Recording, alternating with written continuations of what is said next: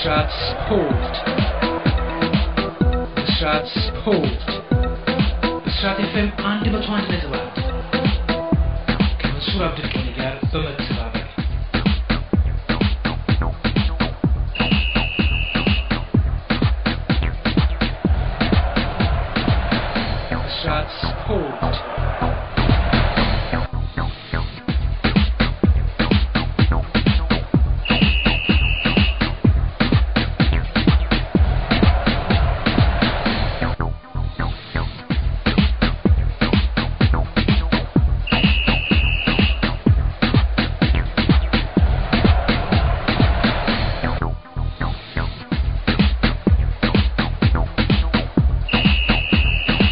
ጤና ይስጥልን እንደምናረፈዳችሁ ክቡራትና ክቡራን አድማጮቻችን የዕለተ ረቡዕ የብስራት ስፖርት ፕሮግራማችን በተወዳጁ ብስራት ኤፍኤም 101.1 ተጀምሯል። እስከ አምስት ሰዓት ድረስ ቆይታውን ያደርጋል። በቴክኒኩ ተረኛዋ ህይወት አሰፋለች። የብስራት ስፖርት ዋና አዘጋጅ መንሱር አብዱልቀኒ፣ የፕሮግራም መሪ ዘላለም ሙላቱ። የዚህ ፕሮግራም የክብር አጋሮቻችን መቶ በመቶ ተፈጥሯዊ ከሆኑ ከታመሰ የገብስ ብቅልና ኃይል ሰጪ ንጥረ ነገሮችና ግብዓቶች የሚዘጋጀው ሶፊ ማልት ኃይልና ሙቀት በመስጠት ሰውነታችን ጤናማ እንዲሆን ይረዳል። አእምሮንም በኃይልና በብርታት ያድሳል። በኢትዮጵያ የመጀመሪያው የማልት መጠጥ ሶፊ ማልት ለውሃ ጥማቸው ፍቅርን ያስቀደሙት ዛሬም ነገም ሁሌም ምርጫቸው አደረጉት። ቀምሰው ያጣጣሙት ፍቅርን የሚሉት ለሰው ልጅ በሙሉ ፍቅርን መረጡት። በምርጫ ቀዳሚ ሁሉን የሚያስማማ ፍቅር ውሃ ተብሏል። ፍቅር ለተጠማ ጥቅም ያለ ወለድን ጨምሮ በርካታ ማራኪ ጥቅማ ጥቅሞችን የሚያስገኘው ጎህ የቁጠባ ሂሳብ ለልጆቹ በመክፈት በየወሩ በፈለጉት መጠን እየቆጠቡ በአመት ቢያንስ 1200 ብር የልጆቹ ዕድሜ 18 እስኪሞላ በማስቀመጥ ለወደፊት ህይወታቸው ስኬታማነት መሰረቱን ዛሬ ጣሉላቸው ይላል ወጋገን ባንክ የብልጽግናው አጋር። ዛሬ ፕሮግራሜ ፊልም ማየት ነው ብለው ቀጠሮ ከያዙ ወደ እምቢልታ ሆቴልና ሲኒማ በቀጥታ ይጓዙ። ዛሬ በስምንት ሰዓት ሀገር ስጭኝ፣ በአስር ሰዓት ትርፍ አንጭንም። በአስራ ሁለት ሰዓት ወጣት በዘጠና ሰባት ምሽት በሁለት ሰዓት ደግሞ ሁለት አንድ ሀገር ፊልም መመልከት ይችላሉ። በቂ የመኪና ማቆሚያ ስላለ እንዳያስቡ ይሎታል እምቢልታ ሆቴልና እምቢልታ ሲኒማ። አዲስ እይታ በንግድና ኢንቨስትመንት ዙሪያ የማማከር አገልግሎት የተለያዩ የነጠላ ጫማ አይነቶችን የማምረት ቢዝነስ ይጀምሩ ይሎታል። በወር ከ40 ሺህ ብር እስከ 45 ሺህ ብር ትርፍ ያስገኛልና። ሌላው ደግሞ ካልሲ የማምረት ቢዝነስ ነው። በዚህም ስራ በወር ከ40 ሺህ ብር እስከ 45 ሺህ ብር ትርፍ ይገኝበታል እያሉ ነው። እንዲሁም envelope የማምረት ቢዝነስ በወር ከ20 ሺህ ብር እስከ 25 ሺህ ብር ትርፍ የሚያስገኝ በመሆኑ ይሰማሩበት እያሉት ነው። በተጨማሪም በአዲስ መልክ የጀመሩትና በአዳዲስ የሀገር ውስጥና የውጭ ማሽኖች በመታገዝ የሻማና ጧፍ መስራት ስራ የበለጠ ትርፋማ ሊያደርጎት ተዘጋጅቷል። በ40 ሺህ ብር መነሻ ካፒታል በወር ከ15 ሺህ እስከ 20 ሺህ ብር የተጣራ ትርፍ ያስገኛል። የሻማና ጧፍ መስራት ስራ ለተጨማሪ መረጃ 0978 21 21 21 ላይ ይደውሉ። አዲስ እይታን ታገኛላችሁ። ሌላው አጋራችን ኢንፊኒቲ ቴክስታይል ነው። ለሀገራችን ክለቦች የምስራች ይላቸዋል። በሀገራችን ግዙፍ የትጥቅ አምራች ፋብሪካ ከፍቶ ስራ ጀምሬያለው እያሉት ነው። ጥራታቸውን የጠበቁ የክለብ ማሊያዎችን በጥንቃቄ ያመርታል። የደጋፊዎች ማሊያን የክለባቸው አርማና ቀለም ያለበት ወይም የተጫዋቾች ፎቶ ያረፈበት ማሊያ ሁሉ ያዘጋጃል። ኢንፊኒቲ ቴክስታይል ከአምስት ሺህ በላይ ማሊያ ለሚገዙ ክለቦች አንድ መቶ ደረጃቸውን የጠበቁ ማሊያዎችን በነጻ ይሰጦታል። አድራሻው ቦሌ መድኃኔዓለም ሸገር ህንጻ አንደኛ ፎቅ ያገኙታል። ለተጨማሪ መረጃ 0953 54 55 56 ላይ ይደውሉ። ኢንፊኒቲ ቴክስታይል ሌላው አጋራችን የእጅ ጽሑፍን የሚያሳምረው ለአያያዝ ምቹ ሆኖ የተመረተው አዲሱ እስክሪብቶ ቡና እስክሪብቶ ነው። በትልቅ ኢንቨስትመንት ሞጆ ከተማ ላይ ተገነባ። ለምስራቅ አፍሪካ የሚሆን ትልቅ አቅም ያለው ቡና እስክሪብቶ ሁሉም በየቤቱ በሚወደውና በሚጠጣው ለሀገራችን የኢኮኖሚ ዋልታ በሆነው በቡና ስም የተሰየመ ምርጥ ኢትዮጵያዊ እስክሪብቶ ቡና እስክሪብቶ ነው። በሀገር ውስጥ የሚመረተውን ቡና እስክሪብቶ መጠቀም ሀገርን መጥቀም ነውና ገዝተው ይጻፉበት። ሰፊ ምቹ የህፃናት መጫወቻና ማረፊያ ያለው ኬቢ አካዳሚ የተሟላ library ና ላቦራቶሪን ያሟላ የተደራጀ የ ICT መማሪያ ክፍሎችና ቴክኖሎጂን መሰረት ያደረገ ትምህርት የሚሰጥ ኬቢ አካዳሚ የትምህርት ቢሮ ያወጣውን መስፈርት ሙሉ በሙሉ ያሟላ በሁሉም አቅጣጫ ሰርቪስ ያለው ቦሌ ቡልቡላ 93 ማዞሪያ የሚያገኙት ኬቢ አካዳሚ ሌላው ብስራት ስፖርት አጋራችን ነው። ሁሉንም ስፖንሰሮቻችን ከልብ እናመሰግናለን። እስከ አምስት ሰዓት ቆይታችሁን ከኛ ጋር አረጋችሁ ይህ እነዚህን ጉዳዮች ይሰማላችሁ። እንዴት ነው መስሎኝ? ደህና ረፈድክ? ደህና ነኝ። ሜሱት ኦዚል ትናንት እንዴት ነው? ጥሩ የአድማጮች ምላሽ አግኝቷል። ምሽቱን ነበረው የለቀቅ ነው የነበረው በቴሌግራም ገጻችን ላይ አይናፋሩ ድመት ይላል። በኳስ ሜዳ ላይ አንበሳ ግን ደግሞ ህዝብ በተሰበሰበበት አዳራሽ መድረክ ላይ ግን ድመት ነው ይላል። እሱ ራሱ ፈሪ ድመት፣ አይናፋር ድመት ይላል። እና በአንድ አጋጣሚ በኮሎኝ ከተማ በተዘጋጀ አንድ ስነ ስርዓት ላይ የገጠመውን ነገር ነው። በበርሊን ይቅርታ በበርሊን የአዋርድ ማለት ነው። የፊልምና የኪነ ጥበብ ሽልማት ስነ ስርዓት ላይ እሱ ተጋብዞ የገጠመውን አጋጣሚ የተረከበትን ነው። ግን አላለቀም። ልክ መድረኩ ላይ ሲወጣ ነው ያበቃውና ከመድረኩ በኋላስ ምን ተፈጥሯል የሚለውን ነው እንግዲህ ቀጥሎ የምንለቀው ማለት ነው። ዛሬ ደግሞ ሊዮኔል ሜሲ ይቀጥላል። ግን እንደምን አረፈዳችሁ አድማጮቻችን። መጀመሪያ ባልደረባዬ ሌላ ወሬ አስጀምሩኝ ሰላምታውን ረሳሁት። ዛሬ በዛሬ ፕሮግራማችን ላይ አንድ ርዕስ ላይ ብቻ የምንቆይበት ፕሮግራም አይደለም የሆነው የተለያዩ አጠር አጠር አጠር ያሉ ትንተናዎችን ነው የምናቀርብላችሁ።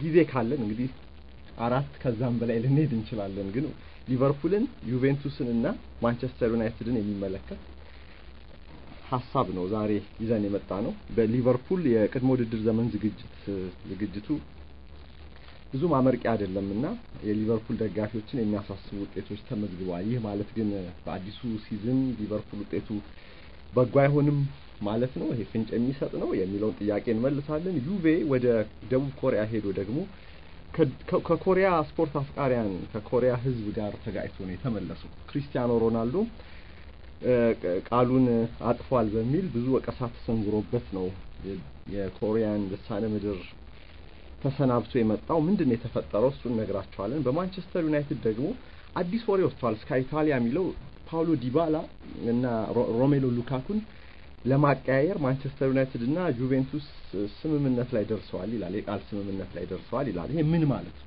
አሁን ዜናው በሌሎች ሚዲያዎች ላይም ሰምታችሁ ይሆናል። ግን ምን ማለት ነው? ስምምነት ላይ ደርሰዋል ማለት ከዚህ በኋላስ ምንድን ነው የሚጠበቀው? ይሄ ዝውውር ሊሳካ የሚችልበት እድል ምን ያህል ነው የሚለውን እናያለን። ግን አንድ ነገር ደግሞ በሀገራችን እግር ኳስ ላይ ማስታወስ እንፈልጋለን። አረ የ2012ን የኢትዮጵያ ፕሪሚየር ሊግ ጉዳይ በአጠቃላይ የኢትዮጵያን የክለቦች ውድድር የተመለከተ ነገር በጣም እያሳሰበን ያለው አዲሱ ዓመት ሊጀመር አርባ አንድ ቀናት ብቻ በቀሩበት በዚህ ሰዓት ላይ የእግር ኳስ ፌዴሬሽኑ ምንም መረጃ እየሰጠ አይደለም። ለመገናኛ ብዙኃን ምን እየተደረገ እንደሆነም እየተነገረ አይደለም። ክለቦች ደግሞ በተለይ የአዲስ አበባ ክለቦች ሁለቱ አሁንም ከቀድሞ አቋማቸው ንቅንቅ ያሉ አይነት አይደሉም። የቅዱስ ጊዮርጊስ የኢትዮጵያ ቡና አቋማቸው የተለያየ ቢሆንም ግን በአንድ ነገር ይስማማሉ። በፕሪሚየር ሊግ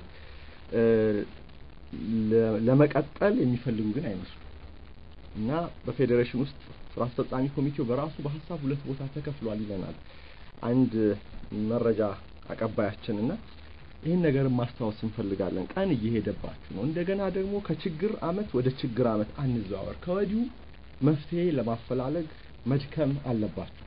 አሁን ሐምሌ ሊጠናቀቅ እየተቃረበ ሳለ ግን ጠብ ያለ መፍትሄ የለምና ምንድን ነው ይሄ ፍጥጫ መቼ ነው የሚያበቃው የሚለውን ነገር እስቲ እናስታውሳለን እናስታውሳቸዋለን ከተኙም ነቃ የሚሉ ማለት ነው። እነዚህን ርዕሶች ይዘን እስከ አምስት ሰዓት ድረስ እንቆያለን። አድማጮቻችን ዛሬ አንዱ ስፖንሰራችን ኢንፊኒቲ ቴክስታይል ነው። ኢንፊኒቲ ቴክስታይል ደግሞ የስፖርት ትጥቅ በተለይ ማሊያ፣ ቁምጣ አልባሳትን የሚያመርት ነው። እንዲሁም ደግሞ ከሬፕሊካ ማሊያዎችን በተጨማሪ ደጋፊዎች በጨዋታዎች ላይ የሚይዟቸውን ሰፋፊ ጨርቆችንም መስራት ይችላል። ለምሳሌ በአውሮፓ እንደምናየው ትልልቅ የሚወዷቸውን ተጫዋቾች ደጋፊዎች ጨርቅ ላይ ያሳትሙና እንደ ባንዲራ ያውለበልባሉ? እንደዚህ ሁሉ ይሄን ሁሉ የመስራት አቅም ያለው ፋብሪካ ተከፍቷል እና ይሄ ለሀገራችን እግር ኳስ ጥሩ ነው። ምክንያቱም በውጭ ምንዛሪ ከውጭ የሚመጡ ስለሆኑ ትጥቆቹን ብዙ የሚያድንልን ነገር አለ። ዛሬ ግን ይህንን ያነሳሁት ግን ኢንፊኒቲ ቴክስታይል ለሶስት አድማጮቻችን ደግሞ ማሊያ ይሰጣል። እነዚህ ማሊያዎች እዚህ የተሰሩ አይደሉም፣ original ማሊያዎች ናቸው። የአርሰናል፣ የባርሰሎና፣ የሪያል ማድሪድ እና የቼልሲ አራቱ ማሊያዎች አሏቸውና ምክንያቱም የመሸጫ ሱቅም ስላላቸው ኳስም የመጫወቻ ጫማም ታኬታ ማለት ነው ሌሎችም ትጥቆችን ይሸጣሉ እና የውጭ ክለብ ማሊያዎች አሉና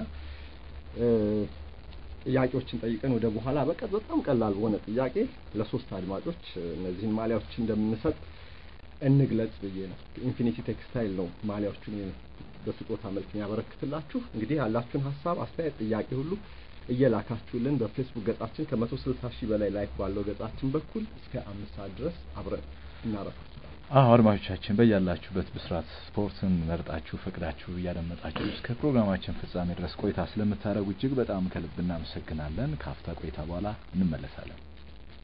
በርታ በርታ ይደረሳል።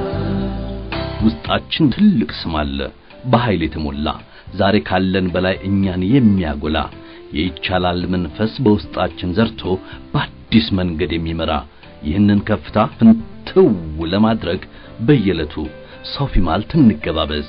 ሶፊ ማልት ውስጣችን ባለው ልዩ አቅም እንመን።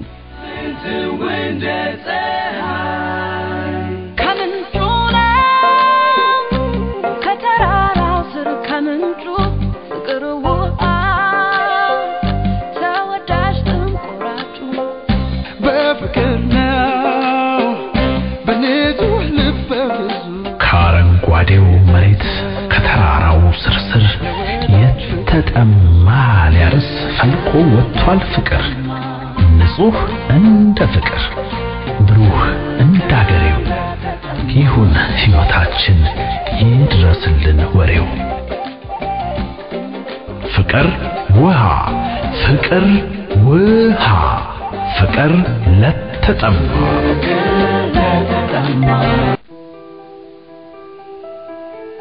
አስተዋይ ቤተሰቦች ለልጆቻቸው የነገ ሕይወት በወጋገን ባንክ መላ ዘይደዋል። ጎህ የልጆች የቁጠባ ሂሳብ ጠቀም ያለ ወለድን ጨምሮ በርካታ ማራኪ ጥቅማ ጥቅሞችን የሚያስገኘውን ጎህ የቁጠባ ሂሳብ ለልጆቹ በመክፈት በየወሩ በፈለጉት መጠን እየቆጠቡ በዓመት ቢያንስ 1200 ብር የልጆቹ ዕድሜ 18 እስኪሞላ በማስቀመጥ ለወደፊት ሕይወታቸው ስኬታማነት መሰረቱን ዛሬ ይጣሉላቸው። ኑ ዛሬውኑ በወጋገን ባንክ ጎህ የልጆች የቁጠባ ሂሳብ የልጆችዎን ነገ ብሩህ ያድርጉ። የጎህ የልጆች የቁጠባ ሂሳብ በመክፈት ስለሚያገኟቸው በርካታ ጥቅሞች ለመመካከር ዛሬውኑ ወደሚቀርበው የወጋገን ባንክ ቅርንጫፍ ጎራ ይበሉ። ወጋገን ባንክ የብልጽግናው አጋር። ወዴት ነው የምትወስደኝ እባክህ? እንቁላል ፋብሪካ አደባባዩ ፊት ለፊት ወደሚገኘው እምቢልታ ሆቴል በእርግጠኝነት ትወጂዋለሽ። ያን ያህል ለትራንስፖርት ምቹ ቦታ ላይ መገኘቱ፣ የመዋኛ ገንዳ፣ የተሟላ ዘመናዊ ጂምናዚየም፣ በማይታመን ዋጋ አረፍ ብሎ ለማውጋት ምቹ መኝታ ቤት። ይህ ሁሉ በአንድ ቦታ መቼ ይሄ ብቻ እንደደረስን የሚገርም ብፌ አለ። በቃ ማጣጣም። ደግሞ በእምቢልታ ሲኒማ ጥርት ያለ ምስል፣ ኩልል ያለ ድምፅ፣ ደረጃቸውን የጠበቁ የሀገራችን ፊልሞች በስምንት በአስር በአስራ ሁለትና በሁለት ሰዓት ይዘው ይጠብቁናል። በእናትህ አስቀድመን ቦታ እንያዝ። ልደውል ያዥ በ011 275 87 57 ወይም በ011 275 87 87 ይደውሉ። እምቢልታ ሆቴልና ሲኒማ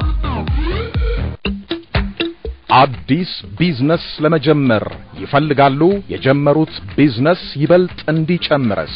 እነሆ የተሻሻለ አማራጭ። አዲስ እይታ በንግድና ኢንቨስትመንት ዙሪያ የማማከር አገልግሎት። ለአነስተኛ ለመካከለኛና ለከፍተኛ ቢዝነሶች። በአጭር ጊዜ አትራፊ የሚያደርጉ ከአራት መቶ በላይ የተጠኑ አማራጮች። አዲስ እይታ።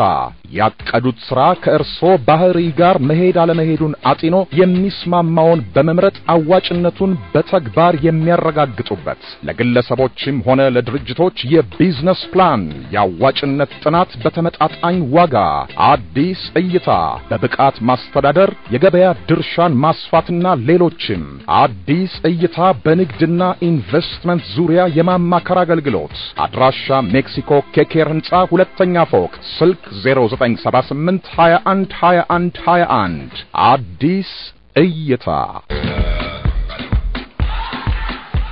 የምስራች በመዲናችን አዲስ አበባ ግዙፍ የትጥቅ አምራች ኩባንያ ስራ ጀመረ። የሀገራችን ክለቦች ወደ ውጭ ሀገር መጓዝ ቀረ ይሎታል። ኢንፊኒቲ ቴክስታይል እጅግ በጣም ደረጃቸውንና ጥራታቸውን የጠበቁ የክለብ ማሊያዎችን ያመርታል። የደጋፊዎች ማሊያም እንደ ምርጫቸው ያዘጋጃል። ቢፈልጉ ደግሞ የክለባቸው አርማና ቀለም ያለበት ወይንም የተጫዋቾች ፎቶ የኖረበት ማሊያ ሁሉ ማሰራት ይችላሉ። ኢንፊኒቲ ቴክስታይል በተጨማሪም የሩጫ ማሊያ፣ ለትምህርት ቤት የሚዘጋጁ የተማሪ ቲሸርቶችን ሁሉ ኢንፊኒቲ ቴክስታይል ያቀርብሎታል። ምን ይሄ ብቻ! ኢንፊኒቲ ቴክስታይል ከአምስት ሺህ በላይ ማሊያ ለሚያዙ ክለቦች አንድ መቶ ደረጃቸውን የጠበቁ ማሊያዎችን በነጻ ይሰጦታል። እንዲሁም ክለቦን ሊወክል የሚችል ማሊያ እርስዎ በፈለጉት ዲዛይን በጥራት ያትማል። ቃሊቲ በሚገኘው በትልቁ ፋብሪካው ለሀገራችን ስፖርት ይተጋል። እርስዎ ለሚወዱት ክለብ ማሊያዎችን በጥራት ያቀርባል። ምርቶቹን ለማየት ቦሌ መድኃኔዓለም ሸገር ህንጻ አንደኛ ፎቅ ብቅ ይበሉ፣ አሊያም በ0953 54 55 56 ላይ ይደውሉ። ምርቶቹ ያማሩ፣ ጥራትና ውበትን ያጣምሩ። ኢንፊኒቲ ቴክስታይል የቡና መገኛ በሆነው ሀገራችን አሁን ደግሞ ሌላኛው ቡና ተገኘ። ቡና እስክርቢቶ ደረጃውን ጠብቆ ከውጭ ሀገር በመጡ ዕውቅ ባለሙያዎች የተመረተ ለሁሉም በሚመች መልኩ ተዘጋጅቶ የቀረበ ሲጽፉበት የማይቆራረጥ በእጅ ሲይዙት የሚያምር ምርጥ ኢትዮጵያዊ እስክርቢቶ ቡና እስክርቢቶ ከሀገራችን አልፎ ወደ ጎረቤት ሀገር ጭምር ኤክስፖርት ለማድረግ ታቅዶ በግዙፍ ኢንቨስትመንት የተዘጋጀ ቡና እስክርቢቶ በተለያዩ ቀለማት በሁሉም መደብሮች በተመጣጣኝ ዋጋ ያገኙታል። ይጠቀሙበት፣ ይወዱታል። የሀገራችንን ምርት በመጠቀም ለሀገራችን እድገት የበኩላችን አስተዋጽኦ እንወጣ። ቡና እስክርቢቶ የጉዟችን ማህተም። ከቀርጫንሼ ትሬዲንግ ፒኤልሲ ቡና እስክርቢቶ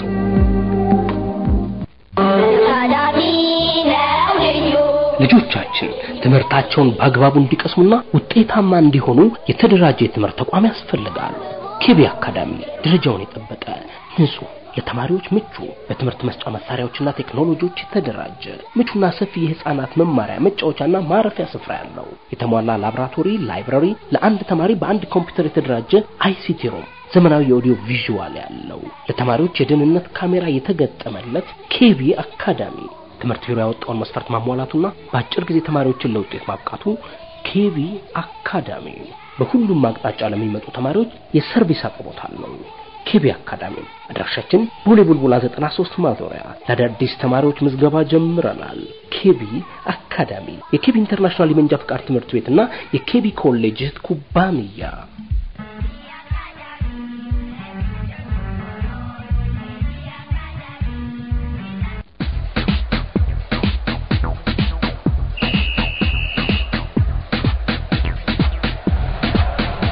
አድማጮቻችን ከአጋሮቻችን መልእክት በኋላ ተመልሰናል። ብስራት ስፖርት ነው በተወዳጁ ብስራት ኤፍኤም አንድ መቶ አንድ ነጥብ አንድ እየተከታተላችሁ የምትገኙት። ከአጋሮቻችን መሀል አንዱ ደግሞ ኢንፊኒቲ ቴክስታይል የቼልሲ፣ የአርሰናል፣ የማድሪድና የባርሴሎናን original ማሊያ አዘጋጅቷል። በስጦታ መልክ ለሶስት አድማጮች ጥያቄ ወደ በኋላ አካባቢ ጠይቀን ሽልማት የሚያበረክትላቸው ይሆናል። ኢንፊኒቲ ቴክስታይል። ወደ ቀዳሚ ጉዳያችን እንለፍ የኢትዮጵያ ፕሪሚየር ሊግ የሁለት ሺ አስራ ሁለት ውድድር በምን መልኩ እንደሚቀጥል እስካሁን ግልጽ የሆነ ነገር የለም። በኢትዮጵያ እግር ኳስ ፌዴሬሽን በኩል ደግሞ ምንም የተሰማ ነገር የለም እና ይሄ መጨረሻው ሰርገኛ መጡ እንደመጣ በርበሬ ቀንጥሶ እንዳይሆን ነገር እስካሁን ድረስ የተጀመሩ ስራዎች አሉ። በግልጽ ደግሞ ለህዝቡ ለስፖርት ቤተሰቡ ምንም የተነገረ ነገር የለም። ምንም የተነገረ ነገር የለም። በሁለቱም ወገኖች በኩል ዝምታ አለ። ግን ውስጥ ውስጡን የሚሰሩ ነገሮች እንዳሉ መረጃው አለው ብስራት ስፖርት ማለት ሁለቱም የየራሳቸው ማለት ነው የየራሳቸው ለምሳሌ በኢትዮጵያ እግር ኳስ ፌዴሬሽን ባለፈው ሳምንት በስራ አስፈጻሚው ኮሚቴ አባላት መካከል በተደረገ ስብሰባ ላይ የሀሳብ ልዩነት ብዙ በጣም ጎልቶ እንደታየ መረጃዎቻችን ያሳያሉ። የሀሳብ ልዩነት ስል ይሄን እናርግ ያንን እናርግ በሚል በሊጉ መጻኢ ዕጣ ላይ የሚወስን ርዕስ ሳይሆን ከአብዛኛው የስራ አስፈጻሚ ኮሚቴ አባላት ኮሚቴው ራሱ በፈቃዱ ከኃላፊነት መውረድ እንዳለበት resign ማድረግ እንዳለበት ተነስቶ ይሄ ሀሳብ ከፌዴሬሽኑ መሪዎች ጋር ማለት ነው ጭቅጭቅ ፈጥሮ እንደነበረ ነው መረጃው የሚያሳየው። እና እናንተ resign አድርጉ ጀምሩና እኛም አንድ ላይ እንውጣ በቃ የሚል ሀሳብ መጥቷል። እዛው ስራ አስፈጻሚው ራሱ ሁለት ቦታ ተከፍሏል። ምክንያቱም የ2011 የኢትዮጵያ ፕሪሚየር ሊግ አጨራረሱም በትምህርት ተጠቅስ ውስጥ አንድ ጨዋታ ይቀራል እኮ አላለቀም። አጨራረሱ ፌዴሬሽኑ አልቋል ብሏል። እንግዲህ ከአንድ ጨዋታ በስተቀር አጨራረሱ የሚያምር አይደለም። አለቀ ብሎ አፍ ሞልቶ ለመናገርም አይቻልም። 99% ሊሆን ይችላል፣ 98 ልንል እንችላለን። ግን አንድ ጨዋታ ይቀራልና የወልዋሎና የቅዱስ ጊዮርጊስ ጨዋታ ጉዳይ እንዴት እንደሚወሰንም እኔ አላውቅም። ቀን እየሄደ ነው ያለው። ከዚህ በኋላ ፎርፌ ተሰጠህ ሊባል ነው ለወልዋሎ ቢሆን መጀመሪያውኑ ፎርፌ ተሰጥቷል ተብሎ ነበር። ወልዋሎ በፎርፌ ሶስት ነጥብ እንዲያገኝ አድርገህ ከዛ በኋላ ወደ ህጋዊ ክርክር የምትገባው። አሁን ግን ቅዱስ ጊዮርጊስም ጫን ያለ አቋም ስለያዘ ያኔ ያ ጨዋታ ተትቷል፣ ምንም አልተደረገም እና በወልዋሎ ወገን ሆነ ስታይ ይሄ ተገቢ አይደለም። ቅዱስ ጊዮርጊስ ጉዳይ ስላለው ነው ከፌዴሬሽኑ ጋር ለመግባባት ውስጥ ስላለ ነው። ወልዋሎ ግን ምን አጥፍቶ ነው ሶስት ነጥቡ ወይም አንዱን ጨዋታ ውጤት የማወቅ መብቱ የሚገፈፈው እና ይሄ ተገቢ አይደለም። አሁን ሰንጠረዡን ካያችሁት አሁንም 29 ይላል። 29 ሁለቱ ቅዱስ ጊዮርጊስ 29 ወልዋሎ 29 ሌሎቹ 30 30 ጨዋታ አድርገዋል ተብሎ እና እንደዚህ አይነት ነገር መቼም እኔ ባለፉት 20 ዓመታት አይቻል አቅም በኢትዮጵያ እግር ኳስ ሲዝኑ ካለቀ በኋላ ጨዋታዎቹ ተጠናቀው ቀናት፣ ሳምንታት እያለፉ ባለበት ሰዓት ላይ ሰንጠረዡ ላይ ግን ያልተሟላ ጨዋታ እና ይሄን ከዚህ በፊትም ጠቆም አድርገናል። ግን አሁን የተኙ እንደሆነ መቀስቀስ እንፈልጋለን። አርባ አንድ ቀናት ብቻ ነው የቀሩት አዲሱ ዓመት ሊጀምር 2012 ልንገባ 2012 ከገባን በኋላ ደግሞ ስለ 2012 የኢትዮጵያ ሊግ ነው የምናስበው። መጀመሪያ City Cup ምንትሴ ምንትሴ የምንላቸው በየክልሉም የሚደረጉ የ preseason ጨዋታዎች ውድድሮች ይኖራሉ። እነዛ ውድድሮች አላማቸው መሆን ያለበት ክለቦቻችን ለዋንጫ ያደርጉታል እንጂ አላማችን መሆን ያለበት ሁሌም እንደምንለው ለ season ኑ ዝግጅት መዘጋጃ እንዲሆኑ በጨዋታ ቡድንን የምትሰራበት ቅንጅትን የምትፈትሽበት በዋናው ፉክክር ላይ በዋናው ውድድር ላይ የተሻለ ቡድን ይዞ የመቅረቢያ መዘጋጃ መድረክ ነው። እና በጣም ሳይንሳዊና ዘመናዊ መንገድ እንከተል ካልን ቀደም ብሎ የፕሪሚየር ሊጉን ፕሮግራም ማወቅ ከዛም ጋር የተስተካከለ የቅድመ ውድድር ዘመን ዝግጅት ፕሮግራም ማውጣት ከዛም ጋር ደግሞ አብሮ የሚሄድ የቅድመ ውድድር ዘመን ዝግጅት ጨዋታዎችን ፕሮግራም መያዝ አስፈላጊ ነው። ይሄንን ሁሉ እንድታደርግ የሚያስችልህ አይደለም አሁን ያለንበት የሆነ ቦታ ላይ ቆም ብለናል። ወይ ወደፊት አንሄድ፣ ወይ ወደ ኋላ እንመለስ። ምን አይነት አስተዳደር ነው? ለምንድን ነው እግር ኳስ እንደዚህ ግን የናቅ ነው? መናቅ የሌለበት ነገር ንቀነዋል። አሁን ደግሞ መናቅ የሌለበት በተለይ የብሔራዊ ጸጥታ ጉዳይ ሆኗል፣ ስጋት ሆኗል በሚባልበት ሰዓት ላይ መፍትሄ ለመፈለግ እንቅልፍ ማጣት አለብን። ዘላለም መተኛት አልነበረብን። ፌዴሬሽኑ ራሱ ስራ አስፈጻሚው እርስ በርሱ የሚግባባ አይነት አይደለም። አሁን ባለው ሁኔታ በመካከላቸው ብዙ ልዩነት አለ። የሀሳብ ልዩነት የሀሳብ ይሄ የመርህ ልዩነት ቢሆን ችግር አልነበረውም። ይሄ ግን እንልቀቅ አንለቅም አይነት ክርክር እንደሆነ ነው ባለፈው ሳምንት የነበረው ስብሰባ ላይ ከነበሩ ሁለት ሶስት ሰዎች የሰማሁት እና በመጀመሪያ ይሄ ስራ አስፈጻሚ መስማማት አለበት፣ መረጋጋት አለበት። አለበለዚያ እንዴት ነው 2012ን የምናስተናግድ? ቀን እየሄደ ነው ያለ።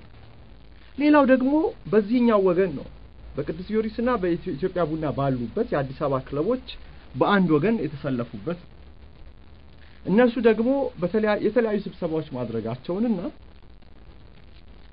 በዚህም ደግሞ በ2012 ላይ በተለይ ሁለቱ ክለቦች ጠንከር ያለ አቋም እንደያዙ ይሄም አሁን የሚቀራቸው ጥቂት ነገር እንደሆነ ለመንግስት ከፍተኛ ኃላፊዎች አስፈላጊ ነው ለሚሏቸው የመንግስት አካላት ማሳወቅ ማስረዳት ብቻ እንደሆነ ከዛ ውጭ ግን በኢትዮጵያ ፕሪሚየር ሊግ ላይ የመቆየት ሀሳብ እንደሌላቸው ነው የተገለጸው።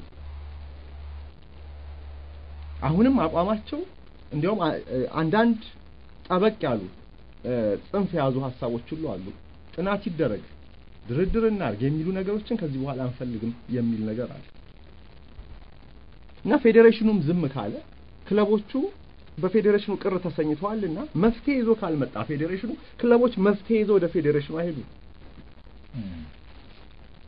አሁን ቅሬታ ተፈጥሯል። ተወደደም ተጠላም ሆድና ጀርባ ሆነዋል ሁለቱ ክለቦች ከኢትዮጵያ እግር ኳስ ፌዴሬሽን በተለይ የቅዱስ ጊዮርጊስ ጉዳይ ጥረትም አልተደረገም። አዎ። ምክንያቱም አሁን ከዚህ በኋላ የራሳቸውን እርምጃና የራሳቸውን አካሄድ ከሄዱ በኋላ ተመልሰ እንደገና ድርድር በመፍጠር አይሆንም። ሁሉ ነገር ይረፍዳል። ስለዚህ መሆን ያለበት ነገር ሁሉም በጋራ መሆን አለበት። መፍትሄ ይኸው መለያየትም ካስፈለገ ፍችም ካስፈለገ ፍቺው ስርዓት የጠበቀ መሆን አለበት። ስርዓት የጠበቀ መሆን አለበት። በመግባባትም መሆን አለበት። የመግባባት ፍቺን ይፈልገዋል በጣም የአዲስ አበባ ሊግ እንዲቋቋም በግ- በግሌ በግሌ ደጋፊ እንደሆንኩኝ ህዝብ ያውቃል። ግን ፍቹ ግን የስምምነት መሆን ያለበት የኢትዮጵያ ፕሪሚየር ሊግ ባለበት ይቀጥል ከፈለገ የአዲስ አበባ ክለቦች በሁለተኛ አማራጭነት ይህን ይዘው መቅረብ ይችላሉ። ባለበት ይቀጥል፣ ፌዴሬሽኑ ያንን ያወዳደር። እኛ የአዲስ አበባን ሊግ እናቋቁምና ከዛ የሁለቱ ሊጎች ግንኙነት እንዴት ነው የሚሆነው በሚለው ላይ መደራደር ይቻላል። ለድርድር የሚውሉ ነጥቦች አሉ። ግን ከድርድር በፊት ግን መልካም ፍቃድ ያስፈልጋል፣ መስማማት ያስፈልጋል። ማን ነው አሁን ሁለቱን ግራና ቀኝ አስቀምጦ የሚያስማማ የሚያወያይ የሚያደራድር? ራሳቸውን መሆን ያለባቸው በተለይ እግር ኳስ ፌዴሬሽኑ እግር ኳስ ፌዴሬሽኑ የክለቦች የሊጉ በሀገሪቱ ያሉ እግር ኳስ የበላይ ጠባቂ ነው እና ክለቦች ልጆች ፌዴሬሽን አባት ነው ካለ የአባትና የልጅ ግንኙነት በፍቅርና በመግባባት በመከባበር እና በመልካም ሀሳብ መሆን አለበት እና ያለፈው አመት መጨረሻ ላይ የተፈጠሩ ስህተቶች ግልጽ ናቸው። የፌዴሬሽኑ አስተዳደራዊ ውሳኔዎች ብዙ መንገጫገጮችን ፈጥሯል። በእግር ኳሳችን ውስጥ ብዙ ቆሻሻ ነገሮች አይተናል። እነዛ ነገሮች ተደግመው ላለመምጣታቸው ዋስትና የለም። ምክንያቱም መፍትሄ አፈላላጊ ኮስተር ያለ አካል እያየን አይደለም። ክለቦችን በዚህኛው ጽንፍ ተቀምጠዋል። የአዲስ አበባዎች በዛኛው በኩል ፌዴሬሽኑ ደግሞ ያለ መፍትሄ እርስ በርሱ እዛው እየተ- እየተጨቃጨቀ ይገኛል ያለ እና ምን ለማለት ነው ሐምሌ እያለቀ አስራ አንደኛ ወር እያለቀ መሆኑን ካላንደሩን እንዲያዩት ባለቀ ሰዓት የሚመጣ መፍትሄ አሁንም አለባብሶ ማረስ እንደሆነ ጭቅጭቅ በኋላ መምጣቱን እንደ- እንደማይቀር ይህንን እግር ኳስ እስከ ወዲያኛው ድረስ ከጭቅጭቅና ንትርክ አውጥተን የስፖርት ውድድር ለማድረግ ከዚህ በላይ ስራ ይጠይቃል። ግን አንዱንም ስራ እየሰሩ አይደለም። ካለም ከሁለቱም ወገኖች ሰምቼ ምንም መረጃ ላገኝ አልቻልኩም። ሁለቱ የተገናኙበት ካለም በይፋ መናገር አለበት። ለሚዲያው በየጊዜው አዳዲስ ነገር እንዳለ መናገር ካለ ማቅረብ አለባት። ይሄ ካልሆነ ግን እመኑኝ 2012 ከ2011 የባሰ አረንቋ ውስጥ ነው የሚዘፍቀን። የባሰ የማንወጣው እንዲያውም የኛ ምንድነው ይሄ ክፉ ህልማችን መጥፎ ህልማችን ነው። ይሄ wild nightmare ኣችን ነው በእግር ኳሱ ላይ እንደገና እንዲፈጠር ሲፈጠር የምናየው ያ እንዲሆን መፍቀድ የለብንም። ለዚህ ተጠያቂዎቹ አመራር ላይ ያሉ አካላት መሆናቸውን ግን ማስጠንቀቅ ያስፈልጋል። 2012 ላይ ለሚመጣ ችግሮች መፍትሄ ሳያገኙ እንደ ነገሩ በሰባራ ድልድይ ላይ ተሻግረን እዛ ሄደን 2012 ላይ ገብተን ለሚፈጠር ችግር ሁሉ ተጠያቂው ማንም ሊሆን አይችልም። መፍትሄ ያፈላልጉ ዘንድ ግዴታ ኃላፊነት አለባቸው የምንላቸው እነዚህ የስፖርት መሪዎች ናቸው። አለበለዚያ ወንበሩ ላይ ብቻ መቀመጥ ጥቅም የለውም። ለምርጫ ስትወዳደር ሁል ጊዜ ማሰብ ያለብህ ነገር በምሰራው ስራ ሁሉ ለወደፊት ተጠያቂ ሆናለሁ ብለህ ቃለ መሐላ የለም እንጂ ቃለ መሐላ የሚፈጽሙት መሪዎች ስለዚህ አለ እንደዛ ብለህ ነው መጀመሪያ ያለብህ። ያ እየሆነ አይደለም። ቃል ቃል ምን በ- በዲፎልት ቃል ገብተሃል የሀገሪቱን እግር ኳስ በርትህ ለማስተዳደር አለ እውቀት እንኳን ባይኖርህ የርትህ mentality ካለ ያ በቂ ነው። ከዛ በኋላ ሌሎች አካላትን ታሰልፋለህ ጋር። ሁሉም ሰው ሙሉ እውቀት ሊኖረው አይችልም። ግዴታ ከተለያዩ ሰዎችን አሰልፈህ ትመራለህ። ያ ግን አልሆነም። በእግር ኳስ ፌዴሬሽናችን በዚህ በኩል የተረገመ ነው። በየጊዜው ምርጫ ይደረጋል። ምንም ጠብ የሚል ነገር አላየንም እና ብስራት ስፖርት 2012 በጣም ያሰገዋል ከወዲሁ የተኛችሁ እባካችሁ ተነሱ፣ ንቁ፣ ተንቀሳቀሱ፣ በር አንኳኩ፣ ሂዱ ሂዱ፣ የክለቦችን በር አንኳኩ። ክለቦችም ደግሞ ሲንኳኳላችሁ በበጎ ፈቃደኝነት ክፈቱና እስቲ እንደራደር ሲሏችሁ እሺ ምን ሀሳብ አላችሁ? ድርድሩ ታዲያ ዝም ብሎ ይሄ ዝም ብሎ የአፈር ሳታ ዲስኩር መሆን የለበትም። ነጥቦች ተቀምጠው መፍትሄ አፈላላጊ ችግሮችን እስከ ወዲያኛው ሊቀርፉ የሚችሉ ልዩነቶችን ወደ ጎን ትቶ በመልካም አስተሳሰብ ለጋራ መፍትሄ በጋራ መስራት ይጠይቃል። ዛሬውን ቀን ግን እየሄደ ነው። ቀን በሄደ ቁጥር 2012 የበለጠ ደብዛዛ እየሆነ የስጋ የስጋት ደመና ቀን ግን እየሄደ ነው። ቀን በሄደ ቁጥር 2012 የበለጠ ደብዛዛ እየሆነ የስጋ የስጋት ደመና እየጋረደው ነው የበለጠ የሚሄደውና ይህንን ማስጠንቀቅ ስለምንፈልግ ነው ይህን ሀሳብ ያነሳ የግድ ነው። ምክንያቱም ያው የሊጎቹ መነቃቃት የሊጎቹ ደግሞ በእንቅስቃሴ ላይ መሆናቸው ለብሔራዊ ቡድንም ትልቅ አስተዋጽኦ አለውና እዚህ ላይ የፈዘዘ ነገር ብሔራዊ ቡድን ላይ ደግሞ ያው ጥላሸት ማጥላሸት ማጥላቱ አይቀርምና ልክ ነው። ከአሁኑ መነቃቃት ያለብን ልጆቹም እኮ ምንም አይነት ውድድር ሳያደርጉ ቀጥታ ወደ ብሔራዊ ቡድን ብትልካቸው ዞሮ ዞሮ አሁንም ብሔራዊ ቡድናችን እኮ ምንም ውጤት አያመጣም የምትለው እዚህ ጋር ካልተሰራ ስራ እንዴት እዛ ውጤት አዎ ተወደደም ተጠላ የሊጉ ነጸብራቅ ነው ብሔራዊ ቡድን የሊጉ ነጸ ሊጉን ካላጠናከርን በጅቡቲ መሸነፍ ይኖራል። አሁን እንደምንም አንድ ለዜሮ አሸንፈናል አይደል? በኋላ ደግሞ እንደምንም ተጣጥረንም ማሸነፍ ያቅተናል።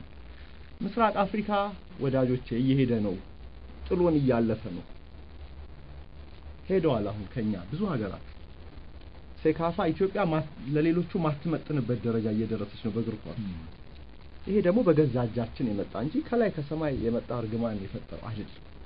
ስራችን የስራችን አድማጮቻችን ብስራት ስፖርትን እየተከታተላችሁ ነው። እስቲ ከሀገር ውስጥ ደግሞ ወደ ውጭ ወጣ እንበል። የተለያዩ የአውሮፓ ትልልቅ ክለቦች እንግዲህ ለቅድመ ውድድር ዝግጅት የተለያዩ ወደ አሜሪካም፣ ቻይናም፣ ኮሪያም እየተጓዙ ዝግጅታቸውን እያደረጉ ነው። ባለፈው እንደገለጽ ነው የማንቸስተር ሲቲ ክለብ ቻይና ተጉዞ እንግዲህ ያለው ነገር ጠብቆት ወይም ደግሞ ከጋዜጠኞችም እንዲሁም ከቻይና ውስጥ ከሚገኙ የማንቸስተር ሲቲ ደጋፊዎች ያሉ ወይም ደግሞ እንደሚጠብቀው አላገኘም እና ይሄ ነገር ተንጸባርቆ ነበረ። አሁን ደግሞ ጁቬ ወደ ኮሪያ ጥሩ ነገር አልገጠመውም። ምን ተፈጥሮ ይሆን? ይሄ ጥሩ ማስተማሪያ ነው ለሀገራችን እግር ኳስ። በተለይ አሁን international ጨዋታ ለምታ- ለምታደርጉት ፋሲል ከነማና መቀሌ ሰባ እንደርታ ባለፈው አመት በጅማ አባጅፋር ላይ የተፈጠረው አይነት ነገር በዘንድሮ እንዳይፈጠር ሁለቱም ክለቦች ከወዲሁ ከወዲሁ ማሰብ ያለባቸው ነገር አለ አይደል? የ travel arrangement ወይም የጉዞ የጉዞ ፕሮግራም የጉዞ ዝግጅት እና ፕሮግራም ለአንድ እግር ኳስ ክለብ እጅግ በጣም አስፈላጊ ስራ ነው፣ ለብሔራዊ ቡድንም ጭምር። ስለዚህ የክለብ ኃላፊዎች፣ የፌዴሬሽን ኃላፊዎች travel arrangement ላይ ኮስተር ብለው መስራት ያለባቸው ከቀናት በፊት ሳይሆን ከወር በፊት ቢቻል ውድድሩ እንደሚደረግ ከታወቀ ከወራት በፊት ነው መሆን ያለበት። ስለዚህ የአውሮፕላን በረራ፣ የሆቴል ማረፊያ መስተንግዶ ሌሎችም ከጉዞ ጋር የተያያዙ ነገሮች የሎጂስቲክ ጉዳዮች ሁሉ ቀደም ብለው ሁለቱ ክለቦቻችን ማሰብ አለባቸው። አለበለዚያ ይሄ የኢትዮጵያ ፕሪሚየር ሊግ አይደለም። ዘጠኝ ሰዓት ላይ ጨዋታ አለ ትባልና ዘጠኝ ከአስራ ሰባት ይጀምራል። ምንም እኮ odd የሆነ ቁጥር ሰዓት አይደል? አስ- አስራ አንድ ሰዓት ይባላል። አስራ አንድ ሰዓት ከሩብ ይጀምራል። እዚህ ያው በቲቪ ስለማይተላለፍ ምን ያመጣል ሰው ሁሉም በቸልታ ስለሚሰራ በውጭው ዓለም ግን ይሄ ነገር የለም። በአፍሪካ ክለቦች ውድድር ላይም ሰዓት አስፈላጊ ነው፣ በጣም አስፈላጊ ነው እና ካለፈው ከጅማ አባጅፋር ስህተቶች መማር አለባቸው ክለቦቻችን። ጅማዎችም ወደፊት ወደፊት የተሻለ ውጤት ቢያመጡ ከዛ ተምረዋል ብዬ አስባለሁ። ያ ነገር እንዳይመጣ ማታ ትሄዳላችሁ ተብሎ ተጫዋቾች ወደ ሻንጣቸውን ካዘጋጁ በኋላ ቲኬቱ አልተቆረጠም ተባላል። እንደገና በአንድ ቀን ጉዟቸው ተስተጓጎለ እና ሄደው ምን አይነት ዝግጅት ምን አይነት ጨዋታ ነው ያሉት? እግር ኳስ የ performance ስፖርት ነው። ሄደ ዝም ብለህ የምትጣድበት ምጣድ አይደል። ሄደ እንደገባህ የምትጫወተው እና በጁቬ ተመሳሳይ ነገር ተፈጠረ። አሁን እንግዲህ እነዚህ International Champions Cup፣ Asia Trophy፣ ምንትስ የምንላቸው የ preseason ዝግጅቶች ውድድሮች በግል ተቋማት የሚዘጋጁ ናቸው። በግል የጉዞ ወኪሎች outsource እየተደረጉ ዝግጅቶች ወይም ደግሞ የጉዞ ሂደቶች ይፈጸማሉ እና ዩቬ ጁቬንቱስ የጣሊያኑ ክለብ ወደ ኮሪያ ተጉዞ ነበር። ዩቬ ወደ ደቡብ ኮሪያ ማለት ነው። ሰሜን ኮሪያ እንደማይሄድ እርግጥ ነው። ወደ ደቡብ ኮሪያ ተጉዞ ለመጫወት አንድ ፕሮግራም ነበረው። ከኮሪያ ኬሊ ከሚባለው ምርጥ ተጫዋቾች ተሰባስበው አንድ ቡድን ይሰሩና ከጁቬንቱስ ጋር ነው የሚጫወቱት የነበር። ይሄ እንግዲህ ባለፈው ሳምንት ወይ ዛሬ 15 ቀን የተያዘ ፕሮግራም አይደለም። ከወራት በፊት የተያዘ ፕሮግራም ነው። ዩቬ ለዚህ ከኮሪያው ሊግ 3 ሚሊዮን ዶላር ገቢ ያገኛል።